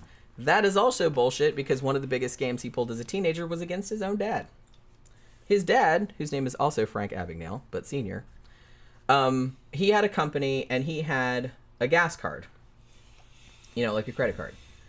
And he gave his son the credit card so he could, you know, put gas in the car or whatever. And what Frank Jr. figured out, what he figured out that he's like, oh, well, you can buy other things at this place, not just gas. And they also sold other stuff. So he started a scam where he would go and buy stuff like car parts and things like that at the gas station with the gas card. And then he would return them for cash. So he would get the cash, but then it would just go on the dad's credit card. So the dad would be stuck with the bill, right? That was the big scam that he was. And eventually, he racked up in back then money $3,400. Do you want to know how much that is in today money? 3,400? 33 grand. That's Wow. 33 grand that he racked up that his dad kind of ended I don't even know if his dad ended up having to pay it, but his dad's like, I'm not paying that shit. Holy shit. But that's what that was one of the biggest scams that he ran when he was a teenager. He fucked over his dad. Like his dad gave him that credit card and he would just like scam to get like all this cash and then left his dad stuck with the credit card bill. So he did that. 33 grand. So that's nice. Um now he was only in the Navy for three months um, and was discharged. I'm not entirely sure why. Um, and when he got out, only a couple days after he got out of the Navy, he was arrested. Like I said, remember he said in his lectures and everything, I only got arrested one time in France. That is also bullshit. He was arrested lots of times. Um, he got arrested only a couple days after he was out of the Navy. He got arrested in Mount Vernon, New York, um, for petty larceny. Um, and then a month later, and remember how I said that he's kind of a creeper, and they kind of left this out of the book and the movie because they were trying to make him seem like a lovable rogue. Yeah, let's hear some creeper stories. Um, well, it gets worse than this. Okay. But one thing that he did in 1965 was that he went to a house and said that he was a police officer, Uh-huh. and he went in this apartment and he said, "I'm investigating your teenage daughter." Okay, yeah, this is and like good. what Okay. yeah like and like went in there now the went person there, went through her underwear drawer. it's well yeah it was like i don't know if he did that but it's like that sounds like some shit that he's like Yeah, building yeah. up to Where's her underwear? Where's her... right yeah we we need to go through her her panties Get any because of pictures of, evidence her? I gotta turn these pictures in to the fucking headquarters. yeah it's like come on now. yeah. now even back then in 1965 um you know the person started to get suspicious it's like this seems a little fishy to me so um he actually called the mount vernon police so the cops came and found him still in the apartment he actually had a toy gun on him and a badge that he'd made out of paper A badge he made out of paper. Evidently. Hold on, hold on. Yeah. You mean like a cop badge yeah that he made out of paper? yeah paper or Try- cardboard or something. I'm trying to imagine this. How do you make a badge? can you imagine that is uh, that is buy- even lamer Yeah. than Steven Seagal's "Hey, I'm gonna test you for breast cancer." Yeah, yeah, yeah. And, and fucking Steven Seagal was a master at testing for breast cancer. Fucking, it was I mean, shiatsu. come on. Shiatsu. He could find a lump. Come in there with the paper police badge. I need to see your teenage daughter's underwear immediately. Seagal could look at a woman and sense that maybe she had a lump, which would call him to the breast. Yeah. That that you know that that's how good he was. Yeah. Why do these dudes wrote- think they can get away with this stupid crap? I mean, come on. It's like so transparent. Because movies. I guess Because movies. They were making. because it works in movies. Yeah, oh, yeah, no, they make movies, and when you make movies, weird shit works because people need jobs, girls need to work. So It's they're like, yeah, don't you might this, hire me. Okay, yeah. I don't want to be hired by Steven. that would Seagal. never work in real world. I don't oh, even It want to be in the same room with It, it only Seagal. works like in Hollywood. I guess. Yeah, because that's kind of. yeah. But yeah. So, um, so he got arrested. Now, they charged him with vagrancy, which I guess seems like a little bit of a weird charge, but I guess that was just what you charge people with back. Because what would you, I mean, you would think impersonating a police officer, surely, right? Yeah. like entering somewhere under but why vagrancy i'm not real sure but that's what they charged him with um and he was identified like the victim identified him it's like yeah that's the motherfucker right there try to come in here i don't know if he went in there looked in her underwear drawer but i kind of feel like that's probably what he was doing right i mean it seems like Yeah, he was only he was 16 or that way. 17 He was 16 17. when he was- yeah Wait a minute. No. No, no, I'm not buying this. He's claiming to be 16 or 17 and talking his way in as a cop yeah past her parents. well like i said he now one thing that he is he was a big dude and he did look a much older than because he got he got into the navy when he was 16 nobody really questioned his age he did look much older than his age Huh. So there was that. So he did get Alright. away. He looked like an adult when he was a teenager. Because I've seen pictures of him from that age, and he did look like an he could See, pass. co- he comes into her room and he's going through the... smelling all the Right. clothes. I gotta go to the restroom. Man. Well, I do too, but it's just like, man, you've been like fucked for like 5 I'm times. drinking more than you. I'll be back. I haven't I haven't been, and I'm just kind of like waiting. But yeah, so he gets arrested for vagrancy. Now, so the next day, um, he goes to court, and they were basically like, well, they actually sent him to a psychiatric hospital for observation. So there was that, because obviously they knew something was fucking wrong with this motherfucker, right? Now, so I guess he was there. I don't know how long he was in the psychiatric hospital because you don't hear about him again for like a few months, right? So I don't know if he was in there that whole time or he just went and they said, yeah, he's fine, let him out or whatever. But a few months after that, in June of 1965, he was arrested again. This time, he was all the way across the country in Eureka, California. What he had done was he had stolen, like back in New York, he had stolen his neighbor's Ford Mustang. It was yellow. And had driven across the country to California and basically had like to finance the trip, he had s- stopped at this little like family run auto repair business.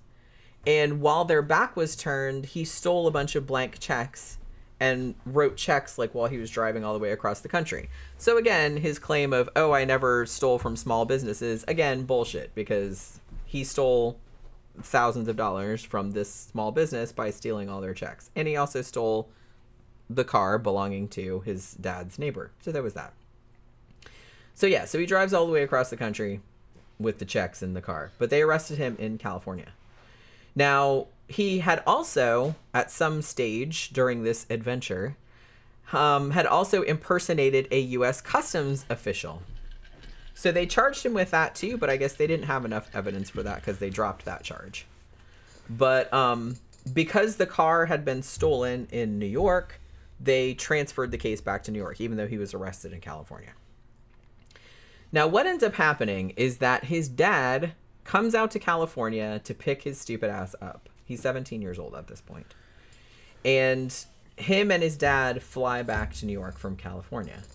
And it was at this point, while they were on the plane, that apparently Frank had the idea to start impersonating a pilot.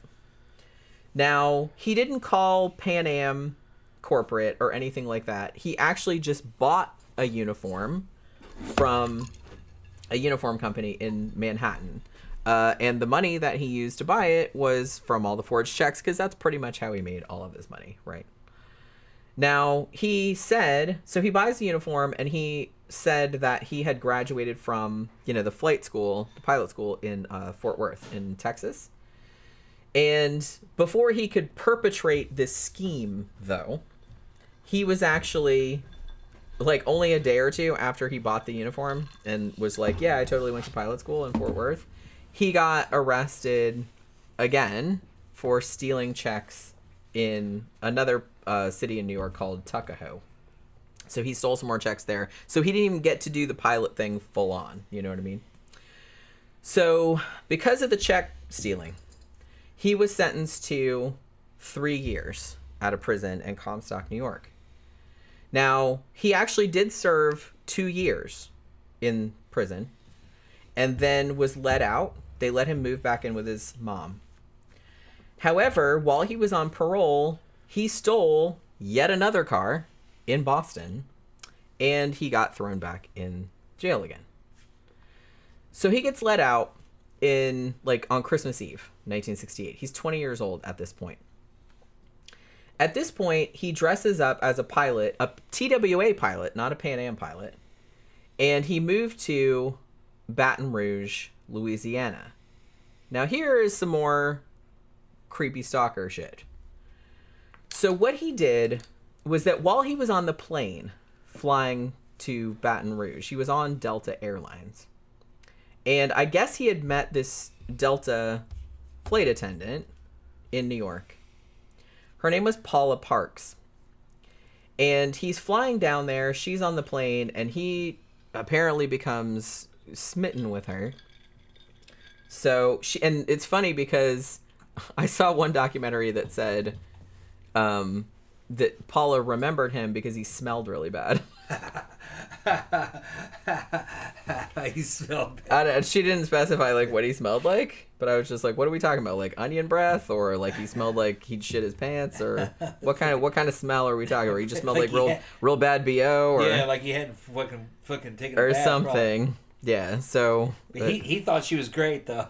yeah well yeah and okay so this is pretty weird too so so he's kind of in love with her i guess on the airplane flight, he's on uh, I, love with yeah i Okay. guess well I, I don't know if he had known her before Okay. but or if he just met her on this flight i'm not entirely sure what the timeline is there now when they land he offers he's like i'm gonna take you and all the other flight attendants we're i'm gonna take you all out to dinner and so he did and then the next day, he sends Paula like a whole bunch of chocolate and flowers and everything like that. He's simping. And yeah, and so and is like, "Hey, come have lunch with me." She wasn't jazzed about it. She's like, "Oh, it's the stinky guy." You know what I mean? But she was just like, "Uh, well, I guess. Okay." It, she felt bad like turning him down, I guess. And so then she says like they have lunch and then she says, "Oh, I live in Baton Rouge. You know, if you're ever in the area, you can come visit me if you want." Which was probably the wrong thing to say. I'm not blaming her. I'm just saying. Yeah. A few days later, Paula, because like I said, she's a flight attendant, so she's kind of all over the place. So she is actually going to go back home to Baton Rouge. So she's taking a flight back home. When she lands at the airport, Frank is at the airport waiting for her in Baton Rouge. And she's like, what the actual fuck? She found out later on that he had gone behind her back and talked to another employee at Delta and figured out what her flight itinerary was. Creepy. That's creepy. That is stalker behavior. Back in those days, they'd probably just consider that to be very fucking committed. That is stalker behavior. Well, yeah, they didn't know shit back then. Yeah. They didn't know shit back then. Look, before you go on, just for, say where you are. That uh, last night or was the night before? Me and Jen were watching some old silent films on. Was that Netflix? Um, I think it. I think it was HBO? HBO Max, like the Criterion Collection. Yeah. collection. What the Harold Lloyd ones? I gotta go. Har- to that yeah, his name is Harold Lloyd. yeah, yeah, yeah. He's famous. He's famous. A good-looking guy. He had his fucking good-looking girlfriend, and they're doing these silent movies. I guess out in California, and they're funny. They're they're they're good. You can relate to them. Yeah, but in the girl said that she was fucking surrounded by simps, and this is back in the fucking 1920s. She it was spelled out on the board simp. I thought that was a new word because I'd never heard of that before, but it turns out dudes were call- chicks were calling dudes simps back in the 20s, and she was uh, getting all these simps fucking. fucking trying to give her gifts and fucking chase her down and shit. They're courting her. But uh, he evidently was making movies before Charlie Chaplin. And uh, we were watching, uh, we, we binge watched a whole bunch of little silent movies. They were only like, you know, five, ten minutes. And uh, they start off fucking terrible. You know, French movies, Journey to the Moon or Voyage to the Moon. It's like watching a damn stage play. There's no camera angles, there's no close ups. But by the time Lloyd was fucking showing his movies, they were doing close ups and shit. And that was a long time ago. That was over, over 100 years ago. But uh, it was funny because they're like coming off as real people, people you could hang out with. You know, they're at speakeasy clubs, jazz clubs, and shit. And yeah, it was silent, but it was fun movies. She, but I was saying that they called the dude a simp. She was calling dude simps. She did. She used that actual word. She used the word simps. Well. I mean, it on the it's a silent movie. Yeah, they yeah. used it in the I was like, in the inter, the the title card thing. I didn't realize that was over hundred years old. I was like, yeah, that's a that was a pretty common Yeah, word. I don't know how common it but was. they have it all they- it remastered and digitally remastered, and they did the uh, Yeah, they- they- Criterion has all yeah, of them. Criterion editions of them, and they uh, did the adjusted the frame rate so it looked like video. So it looked normal, yeah. Yeah, it looked normal. And what's so funny is that those people have been long dead, man, and they did that shit over a hundred years ago, and just how normal they seemed. They seemed like real people. We re- actually really liked all of the Yeah. um because we like I said for some reason we got into like a silent film. We still need to watch Hexan. I've seen it, but yeah, I you want to have- Haxan. Yeah. yeah. Um, you know we were watching like all the old like George Méliès stuff, like Trip to the Moon and Infernal Cauldron and stuff, and then um. I was like, oh, they got all the Harold Lloyd stuff. I said he's kind of like a Charlie Chaplin-ish kind of like you know physical comedy, and um, I don't think I had ever seen any of his stuff, even though I'd heard I knew who he was, like you know because he's quite famous. Not as corny as Cat Chaplin. Not as stunts. He didn't have stunts. Yeah, but great physicality. Great- great physicality. And like honestly, we watched. They they're not long. They're only Yeah. like you know ten minutes or something like lots that. of sexual innuendo. And we watched a bunch of them, and they're still fucking funny. yeah, and lots of sexual innuendo. they're still funny. I thought they were. they go funny. to the jazz club, and her dad is trying to track her down because the, the dude took her there, and he's like, "No, she can't be in there." And he gets there, and fucking jazz chick fucking puts the moves on dad. Fucking like, and he's like, "Okay, yeah, yeah, I'm into this." Even though stealing us, she and then she fucking uses that to fucking blackmail him. Mm-hmm. Yeah. After she's like, mom finds out, fucking you hooking up with these jazz chicks, you're gonna be sleeping in a doghouse. You need all the money, and she's gonna kick you out. You know, yeah. just pretty awesome. yeah. It was just like, wow, shit hasn't changed that much. Not really. yeah. So, uh, cool flicks. Yeah. Cool flicks. Yeah. yeah, it's I, just mean, funny how they had cool people throughout all the ages. I had a lot of fun with those. Yeah, yeah. Because, like I said, I'm glad I got to see some Yeah. Harold Lloyd because I'd heard of him, but I don't think I'd ever seen any. And of I his never movies. heard of Harold Lloyd. Never heard. Of she Jenny introduced me to him. And a, a good-looking guy. Yeah. He, he's a good-looking guy.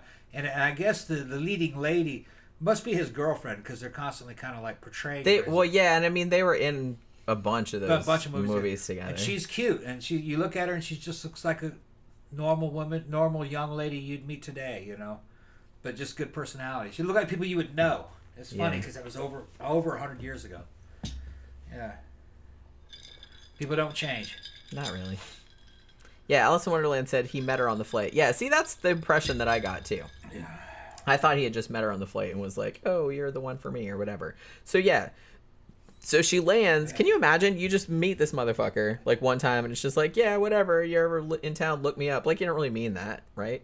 And um, so, but you land and you don't, and suddenly he's there, and you're like, "How the fuck did he know?" Like I said, that's some stalker shit right there. I think back then it wasn't as alarming but now it'd be like woo woo like red flag you know what i mean? It's like i'd be fucking terrified if that happened. Like i said if you're in a relationship with somebody for a long time and they surprise you at the airport yay! That's that's awesome. That'd be awesome. Like look look honey i showed up and blah blah blah. But it's some bitch you just met? Fuck that.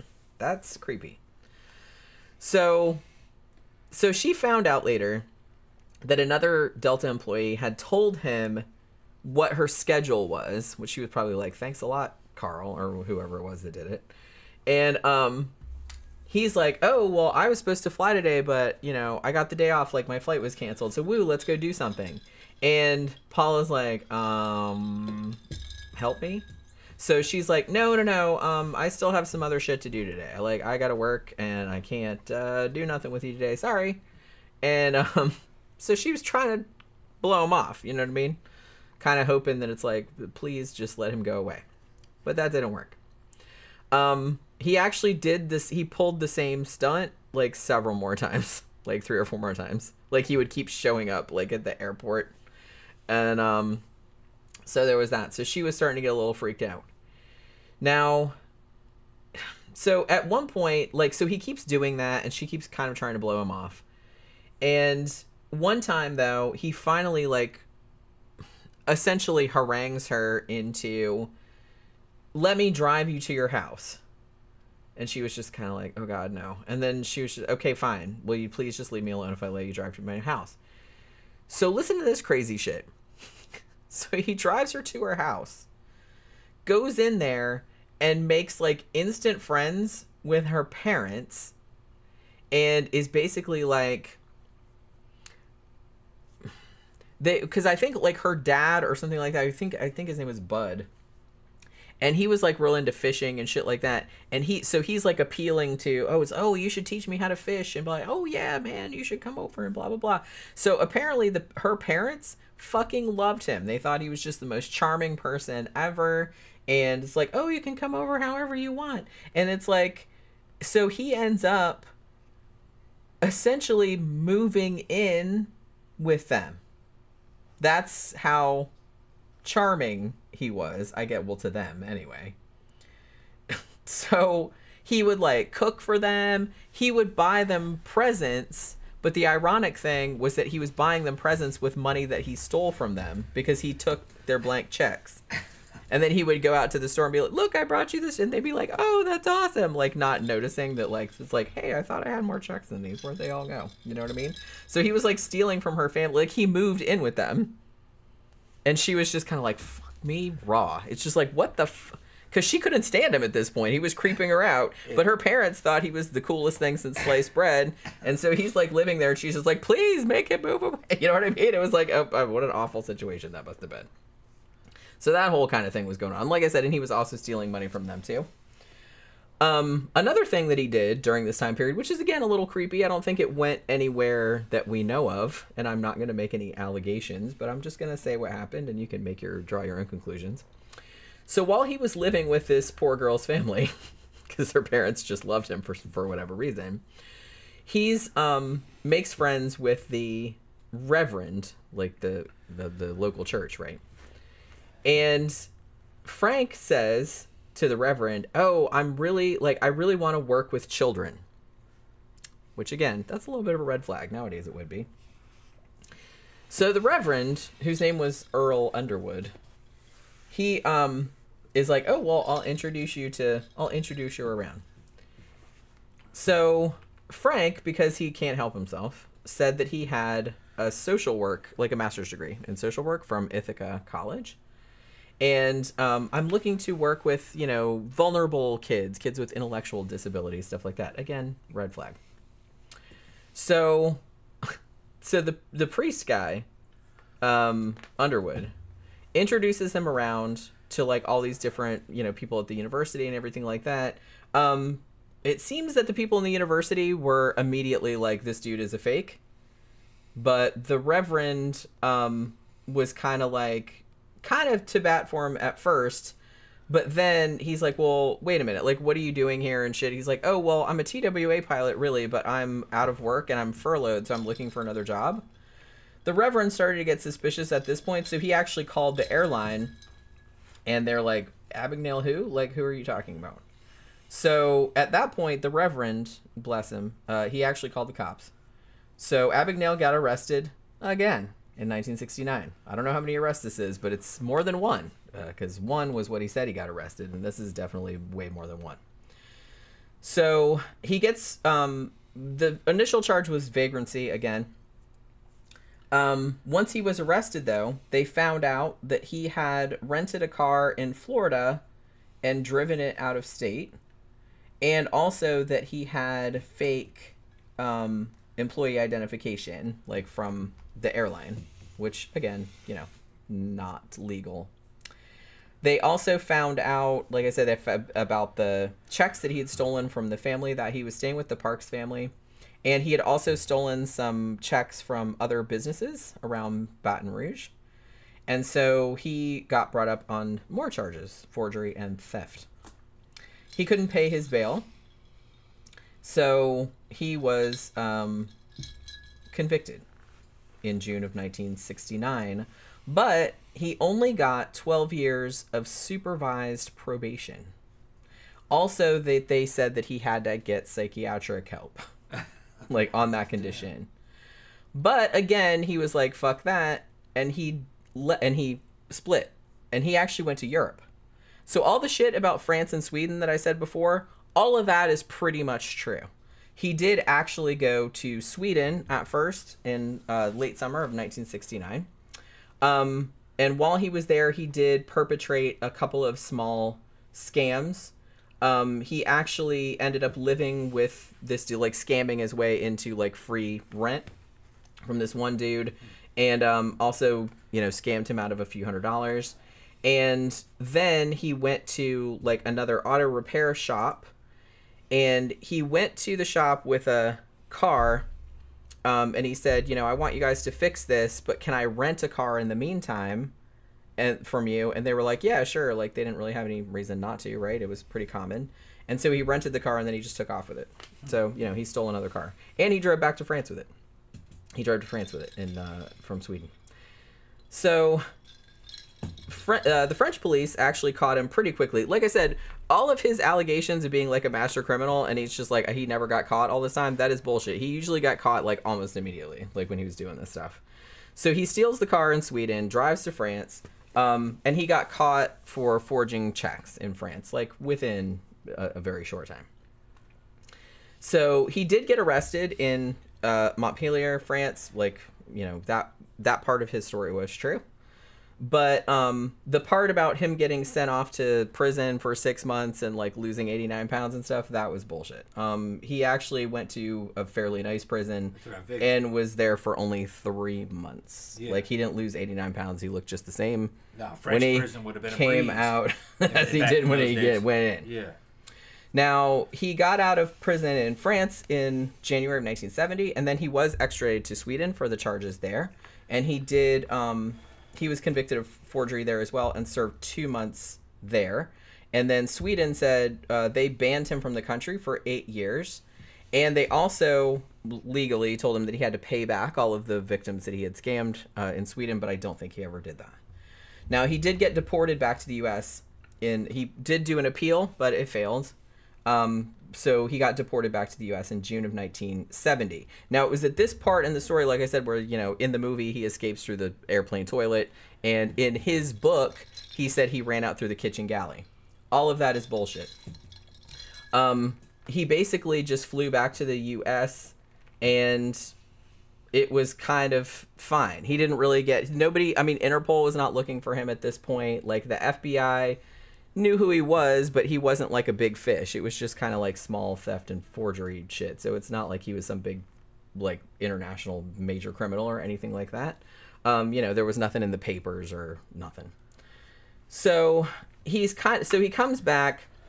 He's 22 years old, and he kind of like moved to North Carolina for a little while because like I said I guess they didn't really do anything to him in the US and like I said he didn't escape from the plane or anything like that. He just came back and it was normal. So he goes to North Carolina. And it was at this point that he decides he's going to um do some scams on Pan Am. And he didn't do it like by dressing up as a pilot. He had dressed up as a pilot but for TWA the Pan Am thing, he was just going to forge um, payroll checks, is what he was doing. He did get a Pan Am pilot uniform. He later said in his book, and I don't know if I mentioned this before, but he said in his book that he had scammed Pan Am out of $2.5 million, like in fake checks. That is not true. He did scam them out of some money, but it was more like $1,400. It wasn't $2.5 million. They're like, yeah, we would have noticed if it was $2.5 million. It was like some I mean, you know, that's not a nothing amount, but it's not 2, 2.5 million. So what he would do, he put on his pilot's uniform, and then he would go, he didn't fly planes or anything. He would just go around to different college campuses and then, you know, passing these um, Pan Am checks that were fake, obviously. And he would say, again, because he's a creeper, oh, I'm here to recruit um, flight attendants, stewardesses for Pan Am. That's what he was doing. And according to some people that were at some of the campuses, he would do um, physical exams on on the recruits because of course he did. Of course. What does that entail? I'm not entirely sure, but I'm sure we can probably imagine. Like I said, Steven Seagal doing breast exams. Yeah, I kind of feel like. Well, we have to make sure off, have to see. that your breasts are buoyant enough They must for for thirty thousand feet for the altitude that you're going to be flying at. Because if they're not buoyant enough, then you know various things can happen. you need large pendulous and round breasts or very pointed upturned breasts because of G forces. Yeah, I'm sure he had some Yeah, kind of he's a- fucking line. The G force involved in flying and the acceleration, accelerational forces.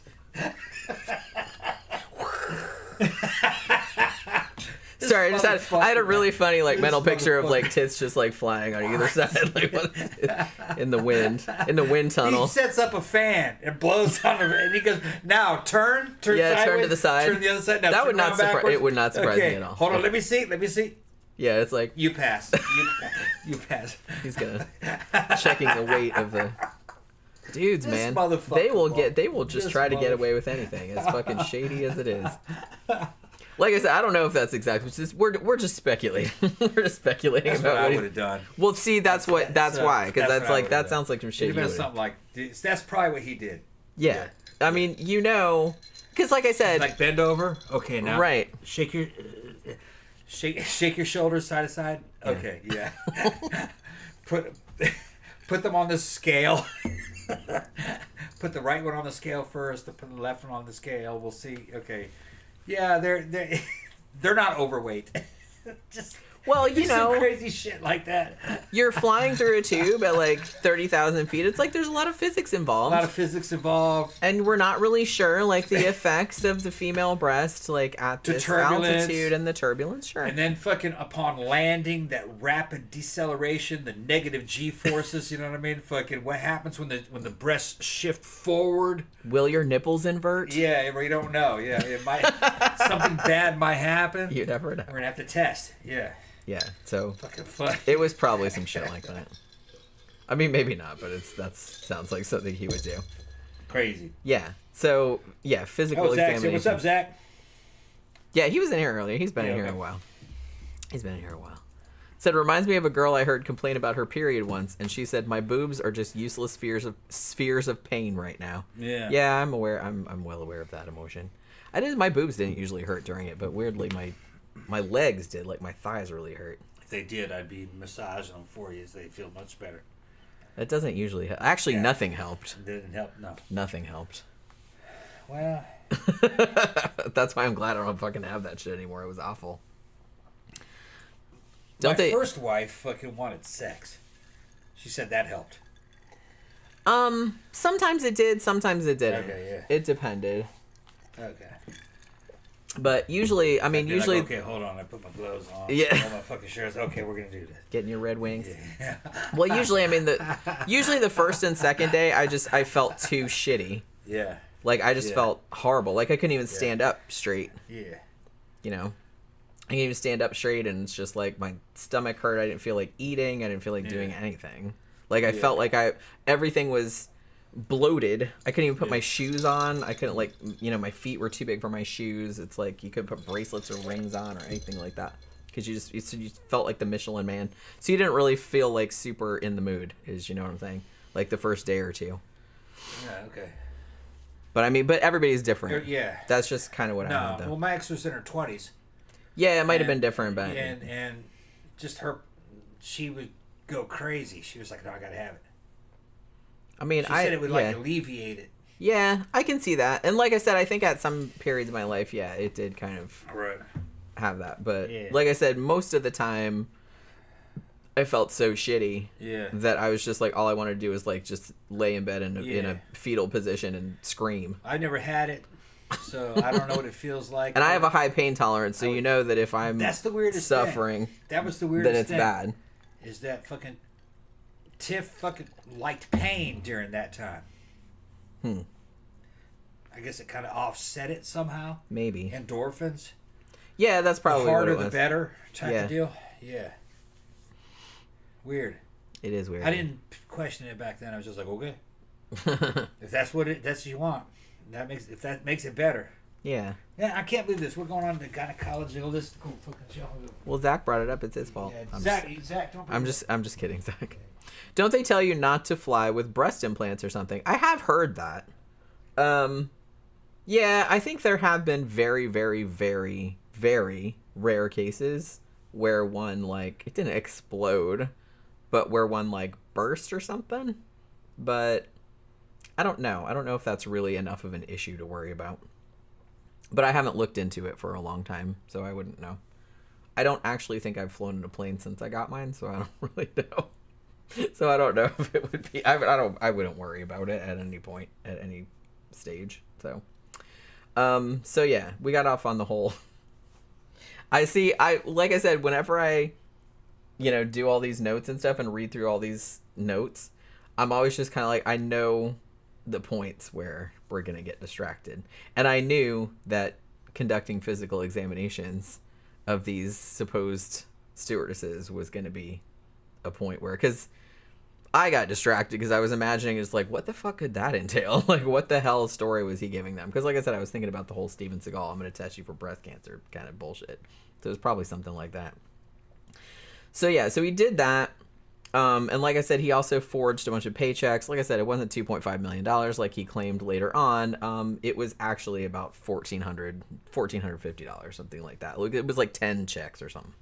Because he said it was didn't he say it was like a fa- like thousands of checks, or he said it was a fucking shit ton, but it wasn't. It was ten, and it was like fourteen hundred dollars.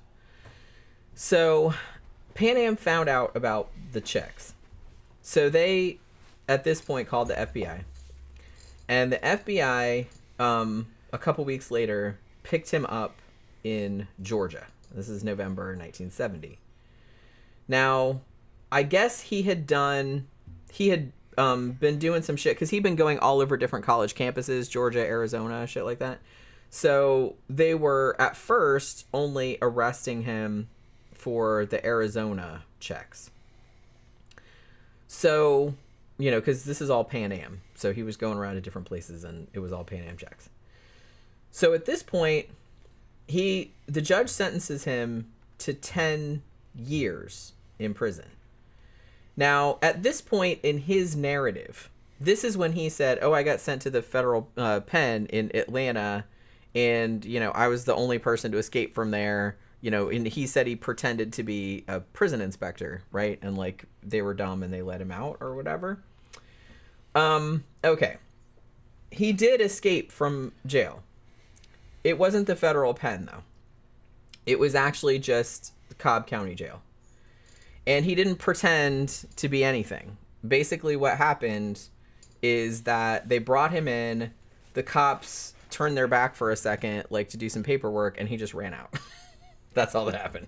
So he did escape, but it wasn't as dramatic as he made it seem like, and it was not from the federal pen like he said it was. It was just a county jail that he and he just ran out the door. Um, so there was that, and so he escaped and he went back to New York City. But four days after his escape, he got arrested again. He's in New York City standing by a pretzel stand, and two cops saw him and recognized him because he had been, you know, arrested in New York too. And the story goes that one of the cops like saw him there, recognized him, and just said, "Hey, Frank." And he turned around, and then he was like, "Oh shit!" And then, like, Gotcha. they- yeah, and then they went over and arrested him. Um, so because he had escaped, he already had a 10 year sentence, so they added two years onto that. However, um, he served three years, and then Louisiana had a warrant on him and said, well, you know, let him out and we'll put him on supervised probation, right? And then he gets sent to Houston. Now, after he got sent there, he's kind of out on probation and he did a bunch of different jobs, or so he said. Um, and but he kept getting fired when they found out about his criminal history. Now, in 1974, he pretended to be a pilot again to get a job at a summer children's camp in Texas, which again, a little sus that he's kind of wanting to work with kids. I'm not implying anything. I'm just saying it is kind of weird that he keeps doing that.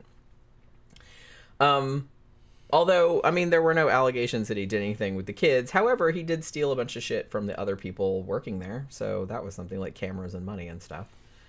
So he got arrested for that too, from stealing. Like again, he, he just keeps saying, "Oh, I only stole from big corporations." That's bullshit. He stole from just regular ass people and small businesses all the time.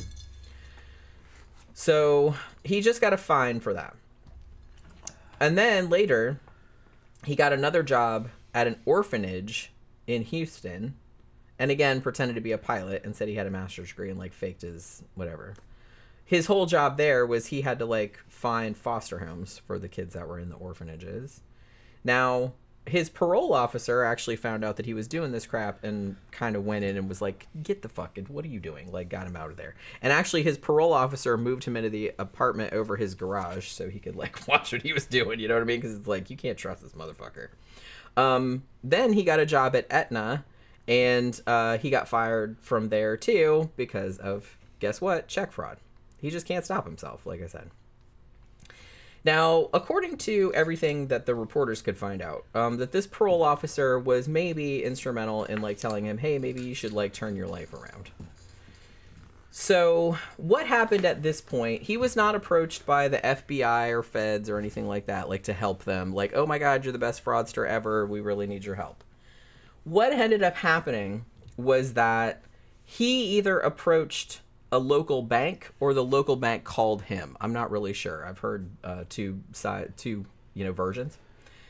And he basically just said to them, "Oh well, I've done all this stuff with check fraud and everything, and it's like let me talk to the people that work at the bank so they can, um, so you know i can help them like identify like check fraud like when it happens, right?"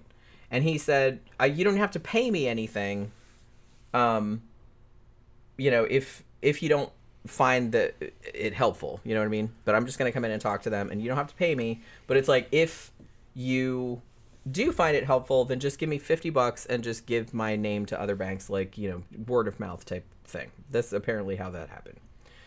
And this eventually grew into him going around to different banks and talking to them about check fraud because he knew a little bit about check fraud, even though, like I said, he wasn't great at it because he kept getting caught. You know what I mean? It's not like he was some master criminal that got away with it for 20 years and then was like, aha, you know, he's like fucking, Yeah. like he was a genius. He kept getting caught, you know what I mean? Even back then when Right. they didn't have all the shit that we have now. So he couldn't have been that fucking good at it. But uh but apparently He they just persistent. He just kept. yeah, it. he just kept doing it. Well, I guess like I said because he didn't really want to have a real job. It seems like I feel him. one of his I yeah, I get that too. Yeah, I understand. But But I mean, no, willing- nobody wants to to have go to jail. nobody wants to have a real job. Yeah. like real jobs suck. You know what I mean? yeah, so it's that's just why that's why they're jobs. right. that's what I mean. It's like If it was cool, they wouldn't pay you.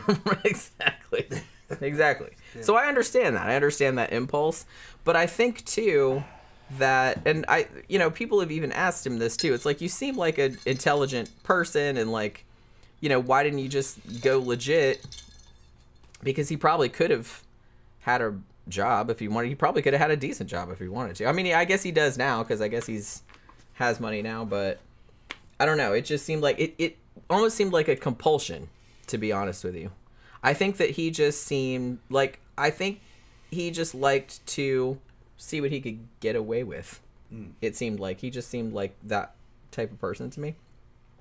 But so yeah, this him going around and talking to banks is apparently what started his whole career that, you know, now he does everywhere where he just goes and speaks and he's like a, you know, like a consultant and he started his own business where he talks about identity theft and tech security and stuff like that. Um, I will note though that he he again he couldn't fucking help himself. Even when he went around to give all these talks at banks, he said on his resume that he had done this stuff for Scotland Yard and the LAPD, which again bullshit. He didn't do that, but he told everybody he did. So yeah, so his whole story was that you know, as we mentioned earlier, between the ages of 16 and 22, he had pretended to be a pilot and a pediatrician and a lawyer and a sociology professor and a security guard and all this other kind of shit. But the reporters found out. They're like, well, even if that was true, they're like, when he was between, the, when they ch- pulled all the public records and everything, they said when he was between the ages of 16 and 22, there were only 14 months of that period where he was not in jail. So they're like, so that really would have because he was in jail most of that time. So they're like, that would have really been amazing if he had been able to do all this stuff because he said, oh, I worked at this hospital here for a year and I was a lawyer for a year and stuff like that. They're like, you were in jail almost all of that time. Hmm. So there's like, there's really no way that that could have happened. So there was that. Um, So yeah. Now, as I said, he does still have his company, uh, Abagnale and Associates, which and he still gives talks and everything like that. I've seen some that were like pretty recent. But there were some other things, you know, and here's just like some little fun facts that the reporters kind of brought up about some specific claims that he had made. Remember when I said earlier, I think you were in the bathroom, but like where he had like rented a security guard uniform and like stood in front of a bank and people would come up to make deposits and he's like, "Oh, the machine's broken, just Here, give just me the money." Right. Stricken yeah, like he would do that. um, the bank that he said that he did that at does not exist. Oh, Uh, they found that out later on. Um, yeah, that bank doesn't exist. Uh, he also said that he had worked as a pediatrician again at the at he specifically said Cobb County in Georgia, the General Hospital, and that he had supervised the residents. Um, the reporters found out that that uh, hospital did not have uh, residents ever. Pookie um, has joined the show. Hi, Pookie. She came up here to be picked up. To come on Aw, the show. she's like, put me up. Yeah. What's up, Poop? What you want to say? She's like, You gonna I'm jump? She's gonna jump back down. wee. That she does that. Look at Tom. Boobs in atmospheric space are distracting. Yeah, yeah. I well, they're that. they're only distracting. Oh, yeah, yeah, yeah, yeah. you did. Yeah, yeah. Who's that's in that's your day. space they're distracted? In atmospheric space they're dis- distracted. Not not to not to. It's just they're just distracted. They're he just said, distracting. Yeah, Arthur Clark said it. Why are boobs so distracting to dudes? It's just like it's very funny. Dudes are programmed to be like, man, those are some good boobs. Focus. But booty too. Booty also. They're just I'm a boobs. boob man and a booty man. They're just I like, I like them both. You have every men have them too, just Yeah. not as big. Some guys aren't don't care about one or the other. I'm a, I'm a both guy. He's a both guy. Yeah, He's a boob and a butt guy. yeah. Iris says. I can't help and feet. Well, feet. Not so much feet. Shoes. Shoes Yeah. are better. I was gonna say you don't really like feet. You like. Sh- I like feet. you like I like shoes better shoes. I like fucking real painful looking shoes. Yeah. Yeah, he loves heel. like the more uncomfortable, the better. Yeah. Like yeah, especially good if I can't walk in them. Yeah. Although he They- tries to make me walk in them, and I'm just like, They're I can't, dude, I can't walk in these. I'm I like break them. my Like, they gotta look like some BDSM things. Yeah. Just you know, I was born with it. I can't Maybe he's it. born with it. Maybe it's born with it, Maybelline. Iris said Pookie is too cute. She is. She knows Yeah, it yeah. too. Both our kitties are. Actually, all three of our kitties Yeah. are cute. All three of our kitties are. cute. Beijing's feeling better now. Yeah, Beijing was kind. of... Did we mention that? She was kind of sick. Yeah, I gave her steroids. She got a lot better. Yeah. Her ass. Now she's sprung. now she's eating out. out- Yeah, she's, she's, yeah. eating everything in the damn fun, house. yeah. She's uh, something was wrong with her ass. She had the ass gland problem. Yeah. Yeah. Pookie had that once too, but Yeah, she got. it wasn't too bad. Like I gave her some like pumpkin powder, like fiber and stuff, and it went away. It went away. But um, sometimes you got to go to the vet and get that taken care Cat of. food is not well rounded enough. You got to give. Yeah, you have to. Like I said, the pumpkin powder works really good. Yeah. I still have it in the refrigerator. You need to start giving that to uh, Babby. Yeah, I probably should like mix that in with the fruit. I'll probably get some new because I think that one's kind of old. I'm gonna get some new. I don't remember how much it was. Um, but yeah. So, okay. So, and then there was the whole thing about how he worked as a lawyer for a year and that he was um that he worked in the DA's office. He was like the assistant whatever, the assistant district attorney or the assistant something. Um and the reporters called that office up and were like again abagnale who well like they didn't know who he was and also he's like yeah i worked on the second floor of this building and that building didn't have a second floor so there was that too um also he said that he was a sociology professor at brigham young university and then he said oh he just went in there and talked to the dean and they gave him a job like within an hour or whatever. Um and they're like that is not the case. Um normally they're like i mean brigham young is it's a mormon school and they kind of have a thing you know they have this very extensive like interview particularly like the the religious stuff and looking through all your uh credentials and everything like that and there's like there's just no way that they would have just let him walk in and get a job. It's like a pretty um it, it's a process like to get professors in there and it's pretty extensive. Also the funniest thing that one of the things they found out later is that i guess he had um frank like to show that he actually was a professor at byu he had a picture of himself supposedly, you know, uh, teaching there. And in the picture, you can see his desk, like uh, that was apparently at the front of the classroom, and the desk has a can of Mr. Pibb on it. But this photo was supposedly taken in the 60s, and Mr. Pibb was not around until 1972. Like, it wasn't invented until 1972. So he took that photo later and then, you know, said, Yeah, I taught at BYU, like back in the day, even though, yeah, Mr. Pibb didn't exist back then when that picture was supposedly taken. So, uh, so yeah, there's that. And so these articles, like saying all of this stuff that I just told you, like all all of the bullshit that he talked about, there were two articles that came out in 1978 before his autobiography even came out because he had been on TV like saying all these stories before his book came out, right? So it's like everybody's pretty familiar with his with his narrative. So the thing about it, so these two stories are published in 1978. It was like, look, everything he's saying is like pretty much a lie. Like this whole story, like it's a great story. I'm not saying that, but it's just like everything he's saying is a lie, and it didn't really get any traction. Like nobody, like like I said, you know, a couple years later, he published his autobiography. There was like a whole big thing. Then Steven Spielberg actually bought the rights to his story.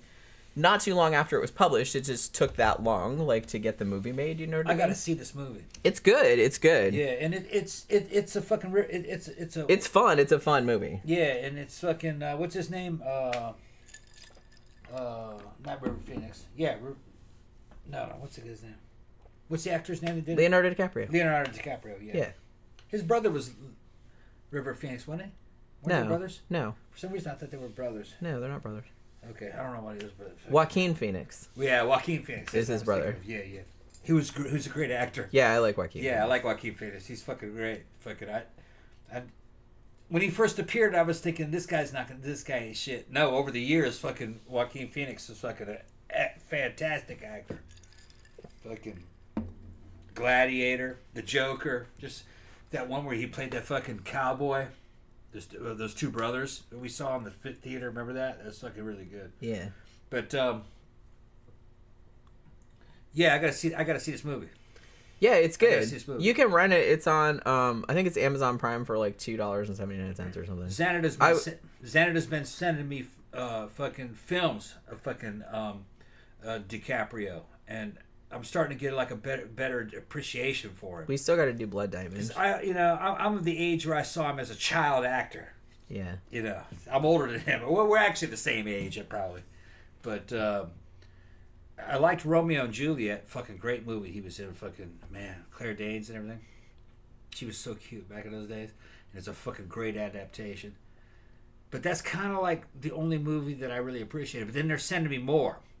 Of, Yeah. and he's fucking. DiCaprio's good, man. He's really good. He's good in gangster roles, fucking just, everything. As an, as a cop or an investigator, I like to see him in this role. So I'm gaining a new appreciation for DiCaprio. Late, I'm late to the DiCaprio game. Yeah. But You uh, would probably really like this movie. Like I said, this Yeah. it's you know it's fairly old. It came out in Yeah. 2002. I got Blood Diamond sitting over there. I haven't seen it yet. Yeah, that'll probably be our next review. Yeah, yeah. We'll do do Blood. Diamond, and then I got I bought you a couple movies for Valentine's Day. I bought him Dark City and The Cell, so Yeah. we're gonna do those in the Been next wanting to couple see weeks Blood too. Diamond. That's what got me on the DiCaprio game through Xanada. I love Blood Diamond. It's really good. I was building a fucking Blood Diamond carbine, which is a XM177 or a Car 15 version of, of fucking M16. I, was, I have one, but I've never seen the movie. I've just seen a photograph of the rig that he was running. I didn't camouflage it. I'm not going to spray paint it green. I'm just to keep it black.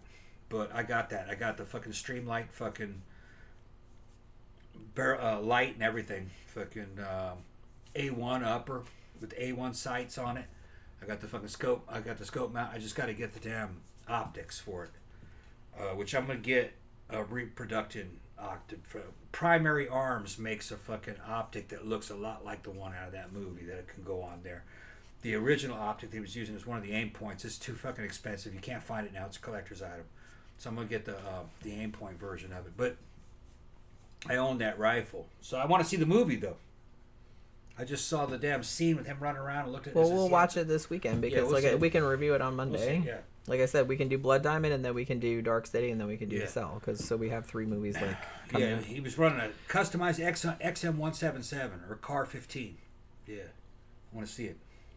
Yeah, James says any institution of BYU quality, like say Central Florida, no way you get a job without extensive reference and papers published. Yeah, exactly. And like I said, and particularly BYU, which like I said is a Mormon institution, they're gonna go through the rigorous religious kind of shit too. So you just going in there and being like, "Hey, I just wanted to, you know, I was a pilot, now I want to be a teacher." Oh, okay. Yeah, yeah, I don't think that's gonna work. You Um, what? oh, another thing that we got to watch is we got the Cell. Jennifer Lopez, the Cell. I just said that. I said Oh, I've Dark okay. City and the Cell. Okay, I said I bought yeah. them for you for Yeah, yeah, Valentine's yeah, Day. I I just said that. I didn't hear you say the Cell. Yep. Okay.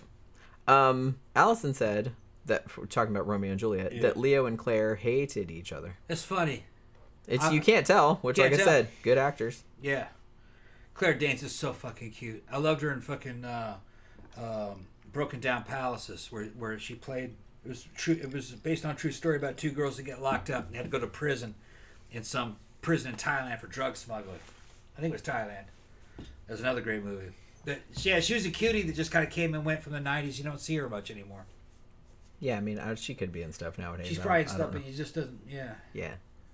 she just had a certain look that was very '90s. You know, for Yeah. me. Yeah. So, um, okay. So let's see. Um, more fun facts that were probably not true. So remember how I said that Frank was in Louisiana Yeah. and he took the bar exam and he said over a 13 week period he took it three times, but he passed it the third time. Um, impossible. They No. said they only offer the bar exam once every six months. Ah. So if he had taken it three times, that would have been A year and a 18 months, 18 not, uh, you know, not 13 weeks. so there's that.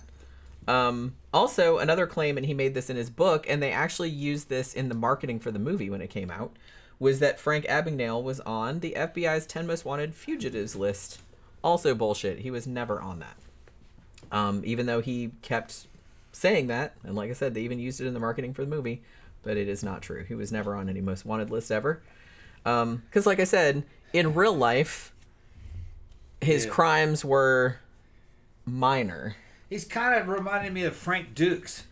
And Frank you know Dux. what's funny Oh, is that when I was watching a documentary about him, Yeah. and like kind of a funny documentary. It was like two Yeah. guys like kind of riffing on it, and someone in the comments made that same comparison and said you should do. He's like, oh, they Yeah. should they should do a boxing match between Frank Dux and like Frank yeah.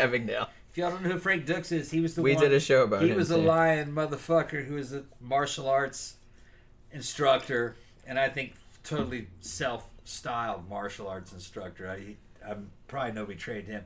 Who claimed to have been in what was called the Kumite, that they based a whole fucking movie on his lies called Bloodsport. Bloodsport with Jean Claude which Van is a Damme. great movie. It's a fun movie. It is a fun movie. Jean Claude Van Damme. It's like a fucking. It's like watching a fucking video game, an '80s video game. and at the end of that bitch, we were watching it, man. Me and my buddy Mike watched it like two or three times. We watched it a lot back when we believed in kung fu. And at the end, it actually has statistics. You, you were like, wait a minute, hold on. This is a true story. This is a true story. How, it was not a true story, but No. even the director knew that Frank Dux was fucking lying. But But they didn't care because they're they like, care. eh, It makes it's a better movie. It's a better movie if they at the end make you think this shit's real. Because real life is usually kind of boring. Yeah, You got to sex it up some. blood sport. Yeah. And what was so funny about Bloodsport, all they were talking about is MMA. Yeah. Well. MMA. Because back in the 80s, if you had described MMA to us, we would think like, "Oh, that's that's not possible. That's illegal." They would never allow that. But yeah, they will. ultimate wrestling, ultimate fighting, that's what came and then it became MMA.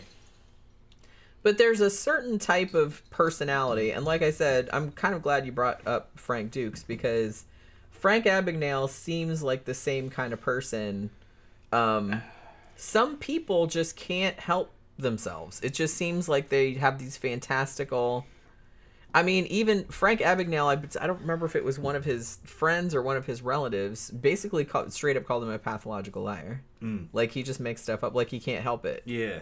Um, because he does kind of seem like that, and he's very self-aggrandizing. Like I said, um, he's al- always talking about, oh, you know, I went into the when I was working at the hospital, and I went into the medical library, and I have a photographic memory, so I could remember all of this stuff, and you know, and he always just has stuff about you know oh people call me a genius but like I'm like okay you know what I mean? It's people- just it's, it's people that call me a genius. it's that kind of thing. I could do that all day long. he even he even like gave talks. I think he gave one talk at like a Mensa thing or something like that before they found out like you know how full of shit he was. Um oh and he also said that he had um made a whole like millions and millions of dollars from a bunch of patents. Like he had all these patents for things like him and his company had it and that is also bullshit. He doesn't have any patents for shit. Uh so there's that.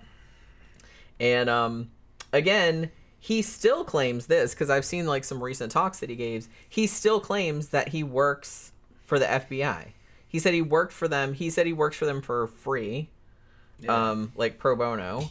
But um you talk to the FBI and they're just like no they're like they're like we think maybe he gave a couple speeches at like the academy or something but it's like he doesn't work here Yeah. you know what I mean but he'll but he acts like they're like when he talks about the FBI he's like we did this and we did that I'm now celebrating 38 years with working with the FBI and they're just like yeah we don't he yeah, how much could they learn from one offender? he doesn't work here. they don't need that bitch. and like I said, and he wasn't Yeah. really that good at it because he kept Yeah. getting caught.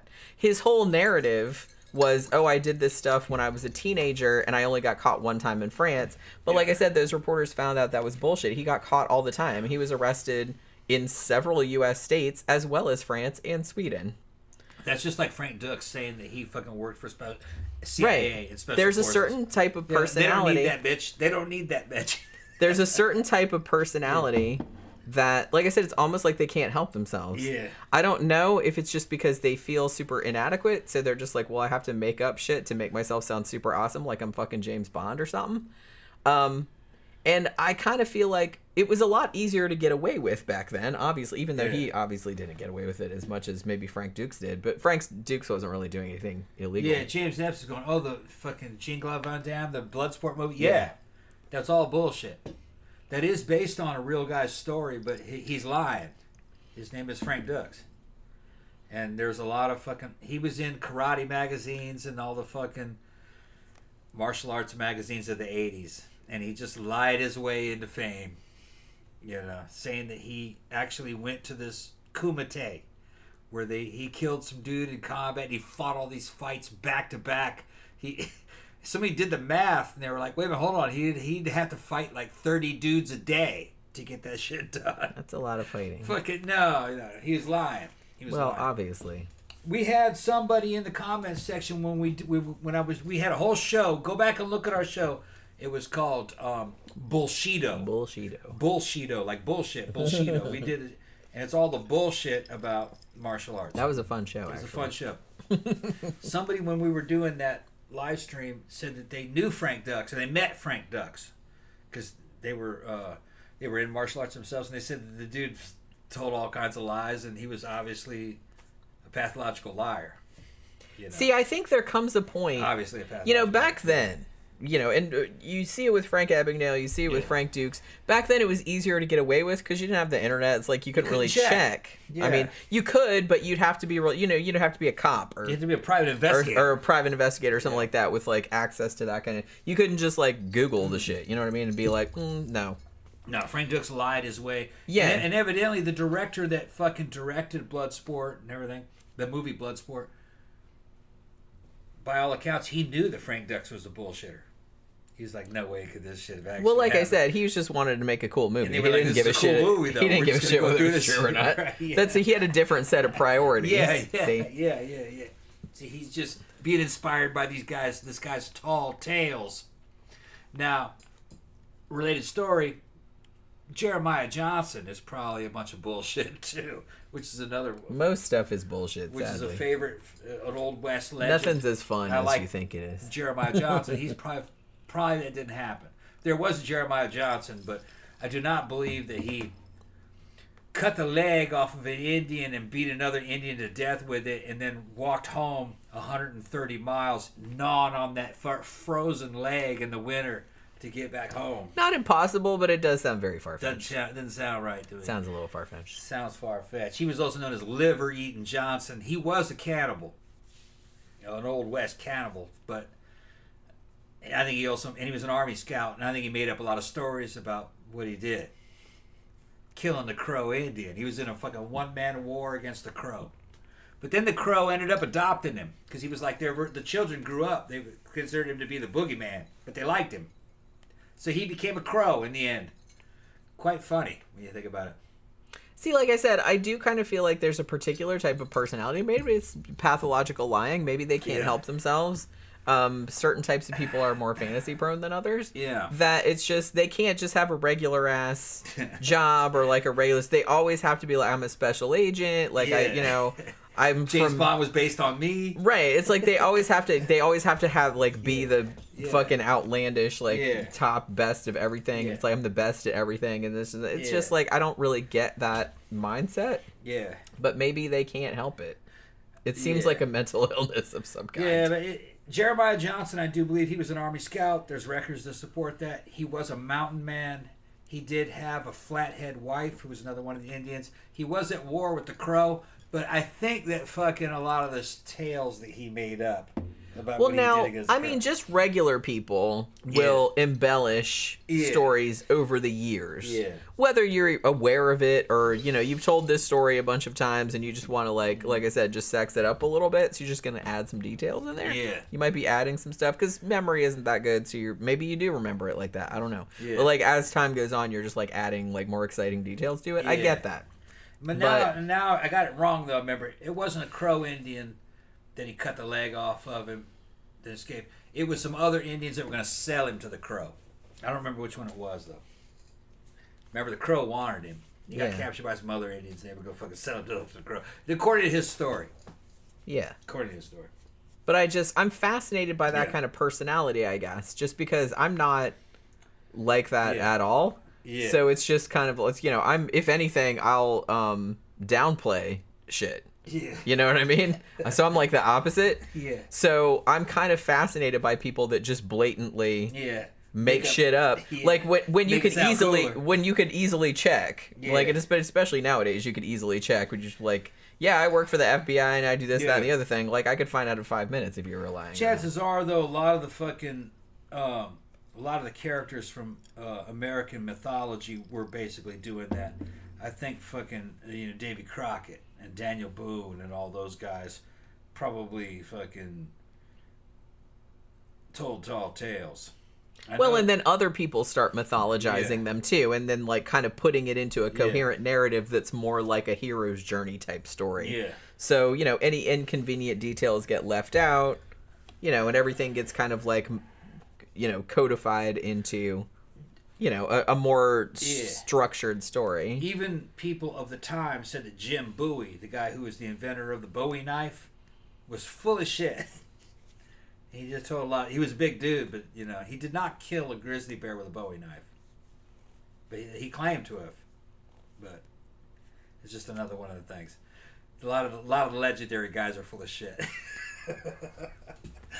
Well, like I said, and and the Over thing. time, it kind of fucking. The thing about it though is that I think most people that know them like know that they're full of shit. Yeah, it's yeah, like, hey, we're all in the bar like having Yeah. some sarsaparilla or whatever. Yeah. And he's just like, yeah, man, I was like walking down this like Yeah. I fucking wrestled an alligator, and it's just Yeah. like, you know what I mean? And it's just you know, and everybody's just like, yeah, cool, Carl, whatever. Yeah, some of them, some of them weren't though. Wild Bill Hickok really was a good shot. I mean, he he used to do it live in front of fucking audiences in a Wild West show later on, and he was involved in some gunfights. But you had to be careful when you look at the, Bambi. some of these legendary Old West figures. Some about half of them are full of shit.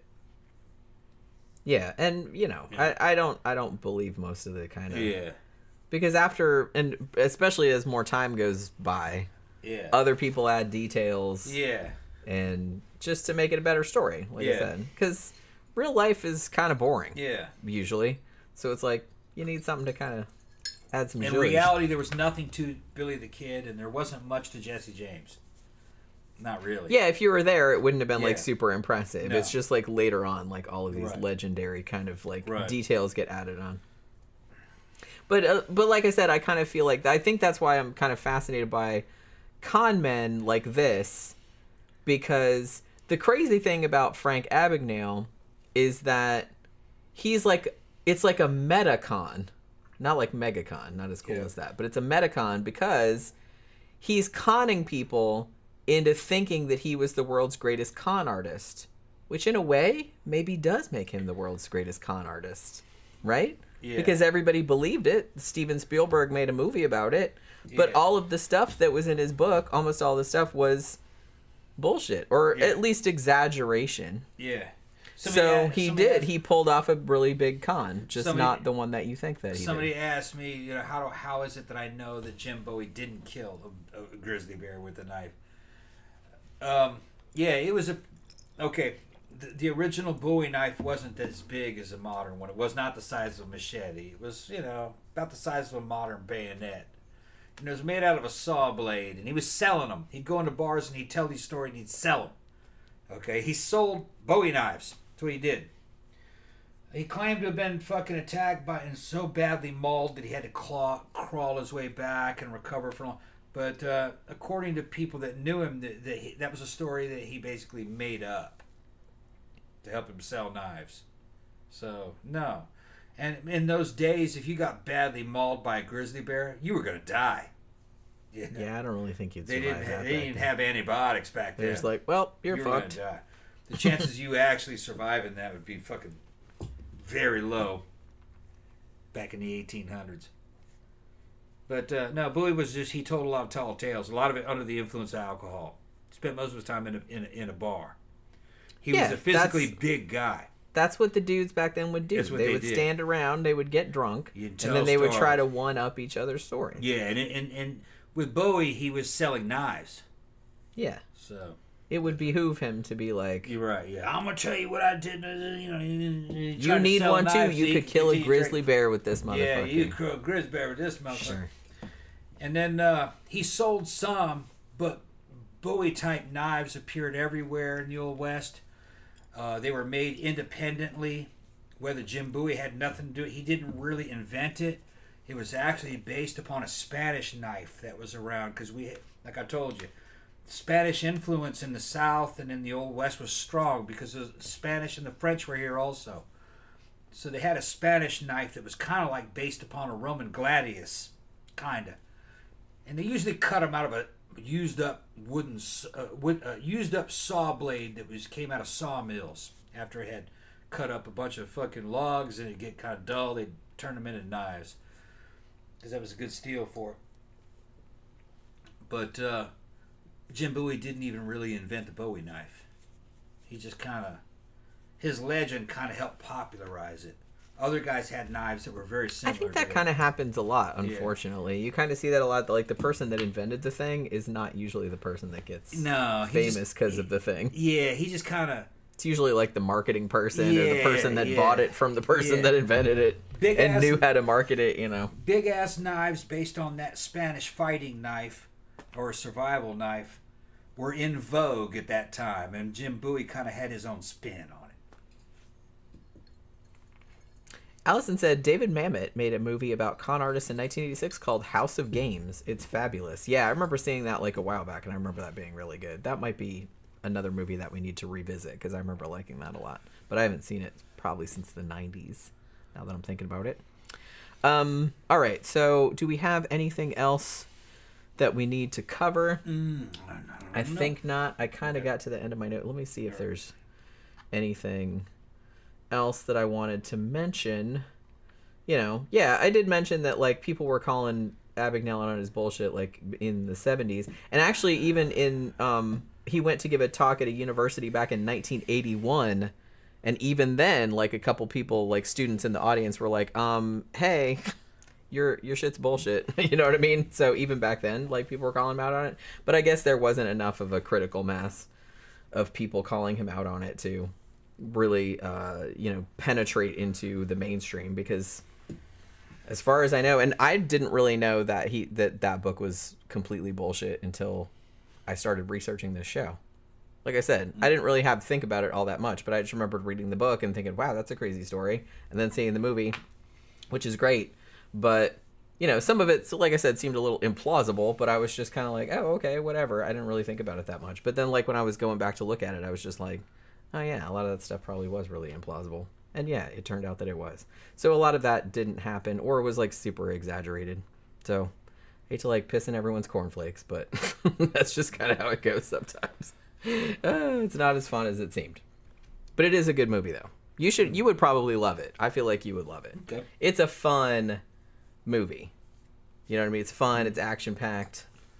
Like I said, they have it. It's on Amazon Prime, but I think it's two dollars and or it's two ninety nine or something like that. Because I looked earlier, I was gonna watch it again, and then I was like, eh, I don't think I'll have time because we had a bunch of other shit we had to do with the car, and I had a bunch of design jobs I had to do today. I did. I made three fucking posters today. Oh, did you? Good. Yeah. The car is uh, reaching completion. I think. I'm just gonna have that drive shaft rebuilt. Only 125 bucks for that. You gonna hang that? You gonna hang that disco ball in there? No, I'm not gonna pimp it. the other shit I got ordered, and it's just gonna be fucking elbow grease. Uh, you know what I mean? Just something. I gotta, I gotta uh, pull that headliner and recover that headliner and put it back in there. It's gonna look fucking like a brand new car. Car's smelling good too. It smelled like shit when we first got it. Dude, smoking like a demon. I sprayed the fucking roof where the dome light was, and all the damn tar from the guy's cigarettes ran down into driplets and fucking solidified there when it dr- when it dried. Me and Jim were driving, and I was looking at that shit, and I could see that. Reached up there and touched some of that tar, and went to go smell it, and accidentally got some of my fucking nose. Like, Man, that's fucking tar. Because I used to smoke. I'm an ex-smoker, so I, I know what it. Yeah, you smoked for years and years. Yeah, uh, ex smokers are more revolted by smoking than people who have never smoked for some reason. It's just I've something I've noticed. I'm fucking I hate smoking now. I'm just Which revolted. is fun. I never I thought. never would have thought. I of that. never thought that would. I would have never thought that. Because I remembered very distinctly you telling oh, me Oh, I I, li-. I like smoking. I'm not. I don't want to I would never quit smoking. No, Yeah, going you back, said I that. fucking hate it. Several times. Once you kick the habit, you just like fucking you hate it. Shit, it's disgusting. Yeah. Well, you realize, You realize like how how gross it is. It doesn't seem gross when you're doing it, but Yeah. you can see how gross it is, like to other people. Yeah. So I've been going behind dashboards and fucking shit, and then you can see that fucking yellow fucking tar stains. Where that dude was in there fucking smoking. He was just smoking cigarettes, I guess. I don't think it's. I don't think it's pipe or c- cigar. Well, it was his wife's It car. was his so, wife, so, so she was in there smoking them damn cigarettes. Yeah. I'm gonna go in there and find that damn atmospheric filter and fucking change those atmospheric filters in there to, to filter the air conditioning and recycle the air in there. I'm gonna get those changed. I bet you they're fucking as yellow as a fucking cigarette filter. Yeah. I just gotta look it up. I don't know where they are. They, we had them in the Taurus, so we, they have to be in that.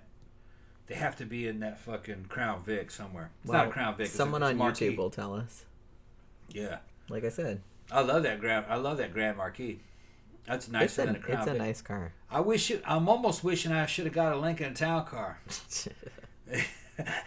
Maybe Which is a stretch maybe version eventually- of that. Maybe eventually we'll get one. Give me old fucking Lincoln. Even more pimped out. it is a nice car. It's very comfortable. Very comfortable. And like I said, when you know, now that we've done some work on it, now that he's done some work on it, when I was driving it back, because you know, obviously we had to We had to trade the cars. trade the we had to drive two cars down there. Yeah. So it's like so I was driving it back from the mechanic, and I was just like, hold on, because I'm a lead foot. Okay, I'm Yeah. gonna I'm gonna speed. I'm used to like driving my Taurus, so I'm kind of used to what that's like. Um, this car, the engine is a lot more powerful. It's much So it was like scaring me because it's like I'm putting my foot down. I'm like, oh shit! I'm like I'm Yeah. going like fucking Yeah. 70 miles an hour, and I'm like at a 45, and I'm like, Yeah. oh. So yeah, I had to like slow down. Yeah, Ford And it was kinda freaking me 4.6 out. liter V8. Same engine that was in the Mustang GT for those years.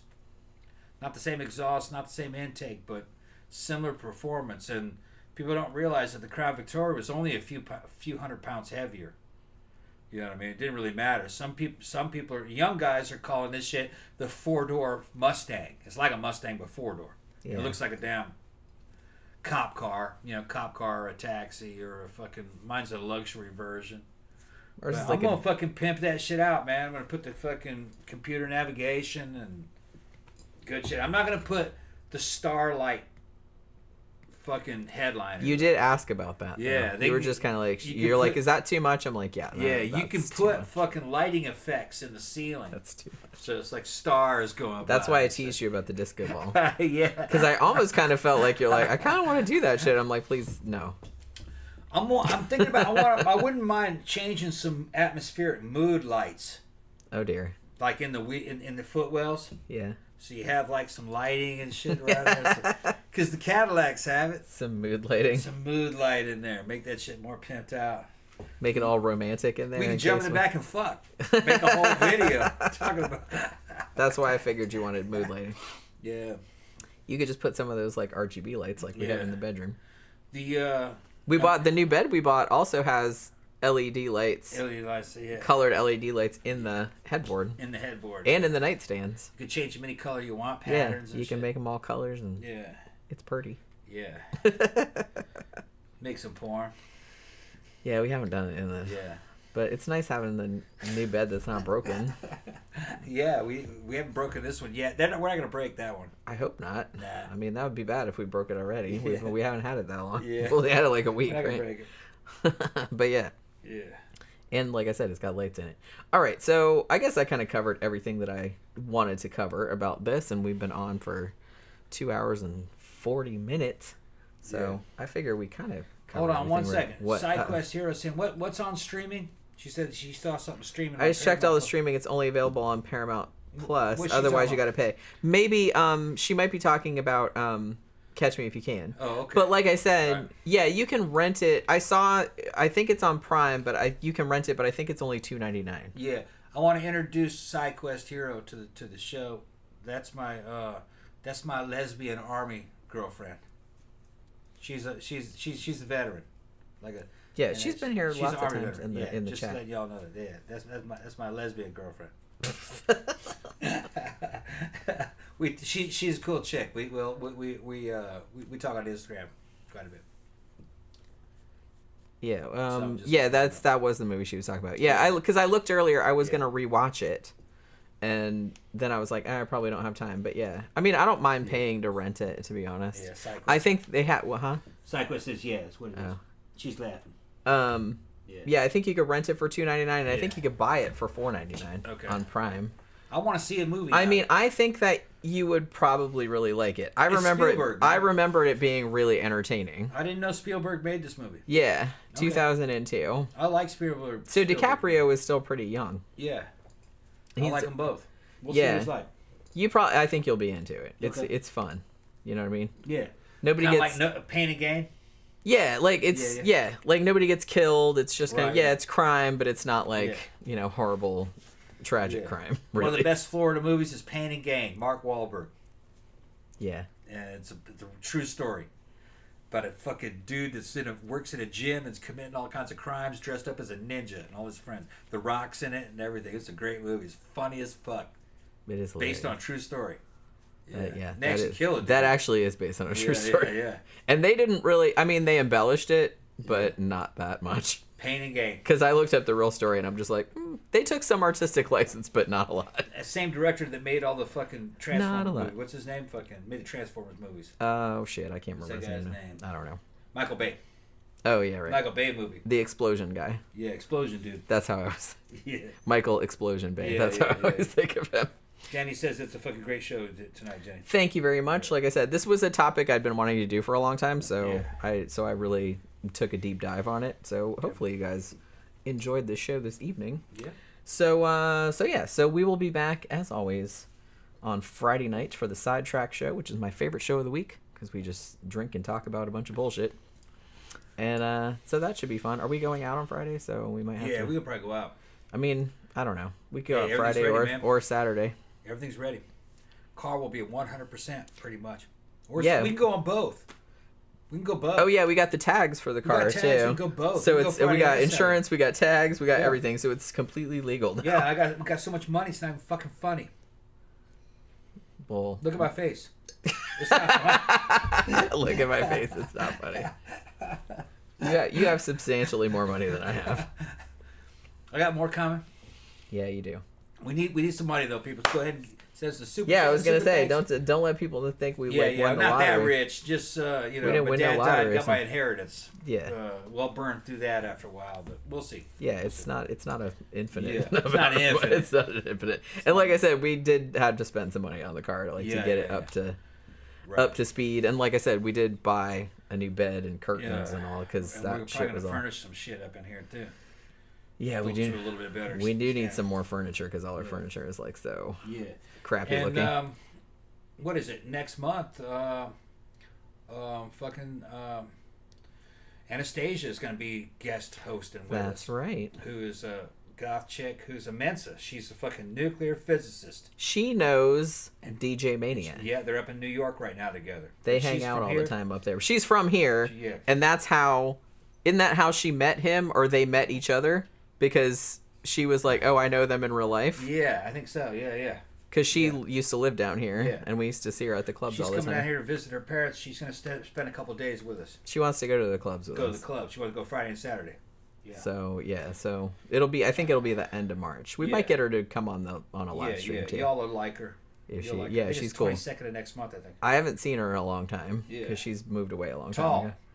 But tall, tall, um, cute chick, uh, smart, crazy. Y'all are like her, and we'll we'll just keep her talking. Yeah, She'll be funny. Allison said this was fun. Good night, all. Yeah. All right. So we're gonna go to go watch something or go to sleep or something. I might get one more drink, but Yeah. we'll see how it goes. I don't really have a whole fuck ton of stuff to do tomorrow. I don't think. Yeah. But yeah.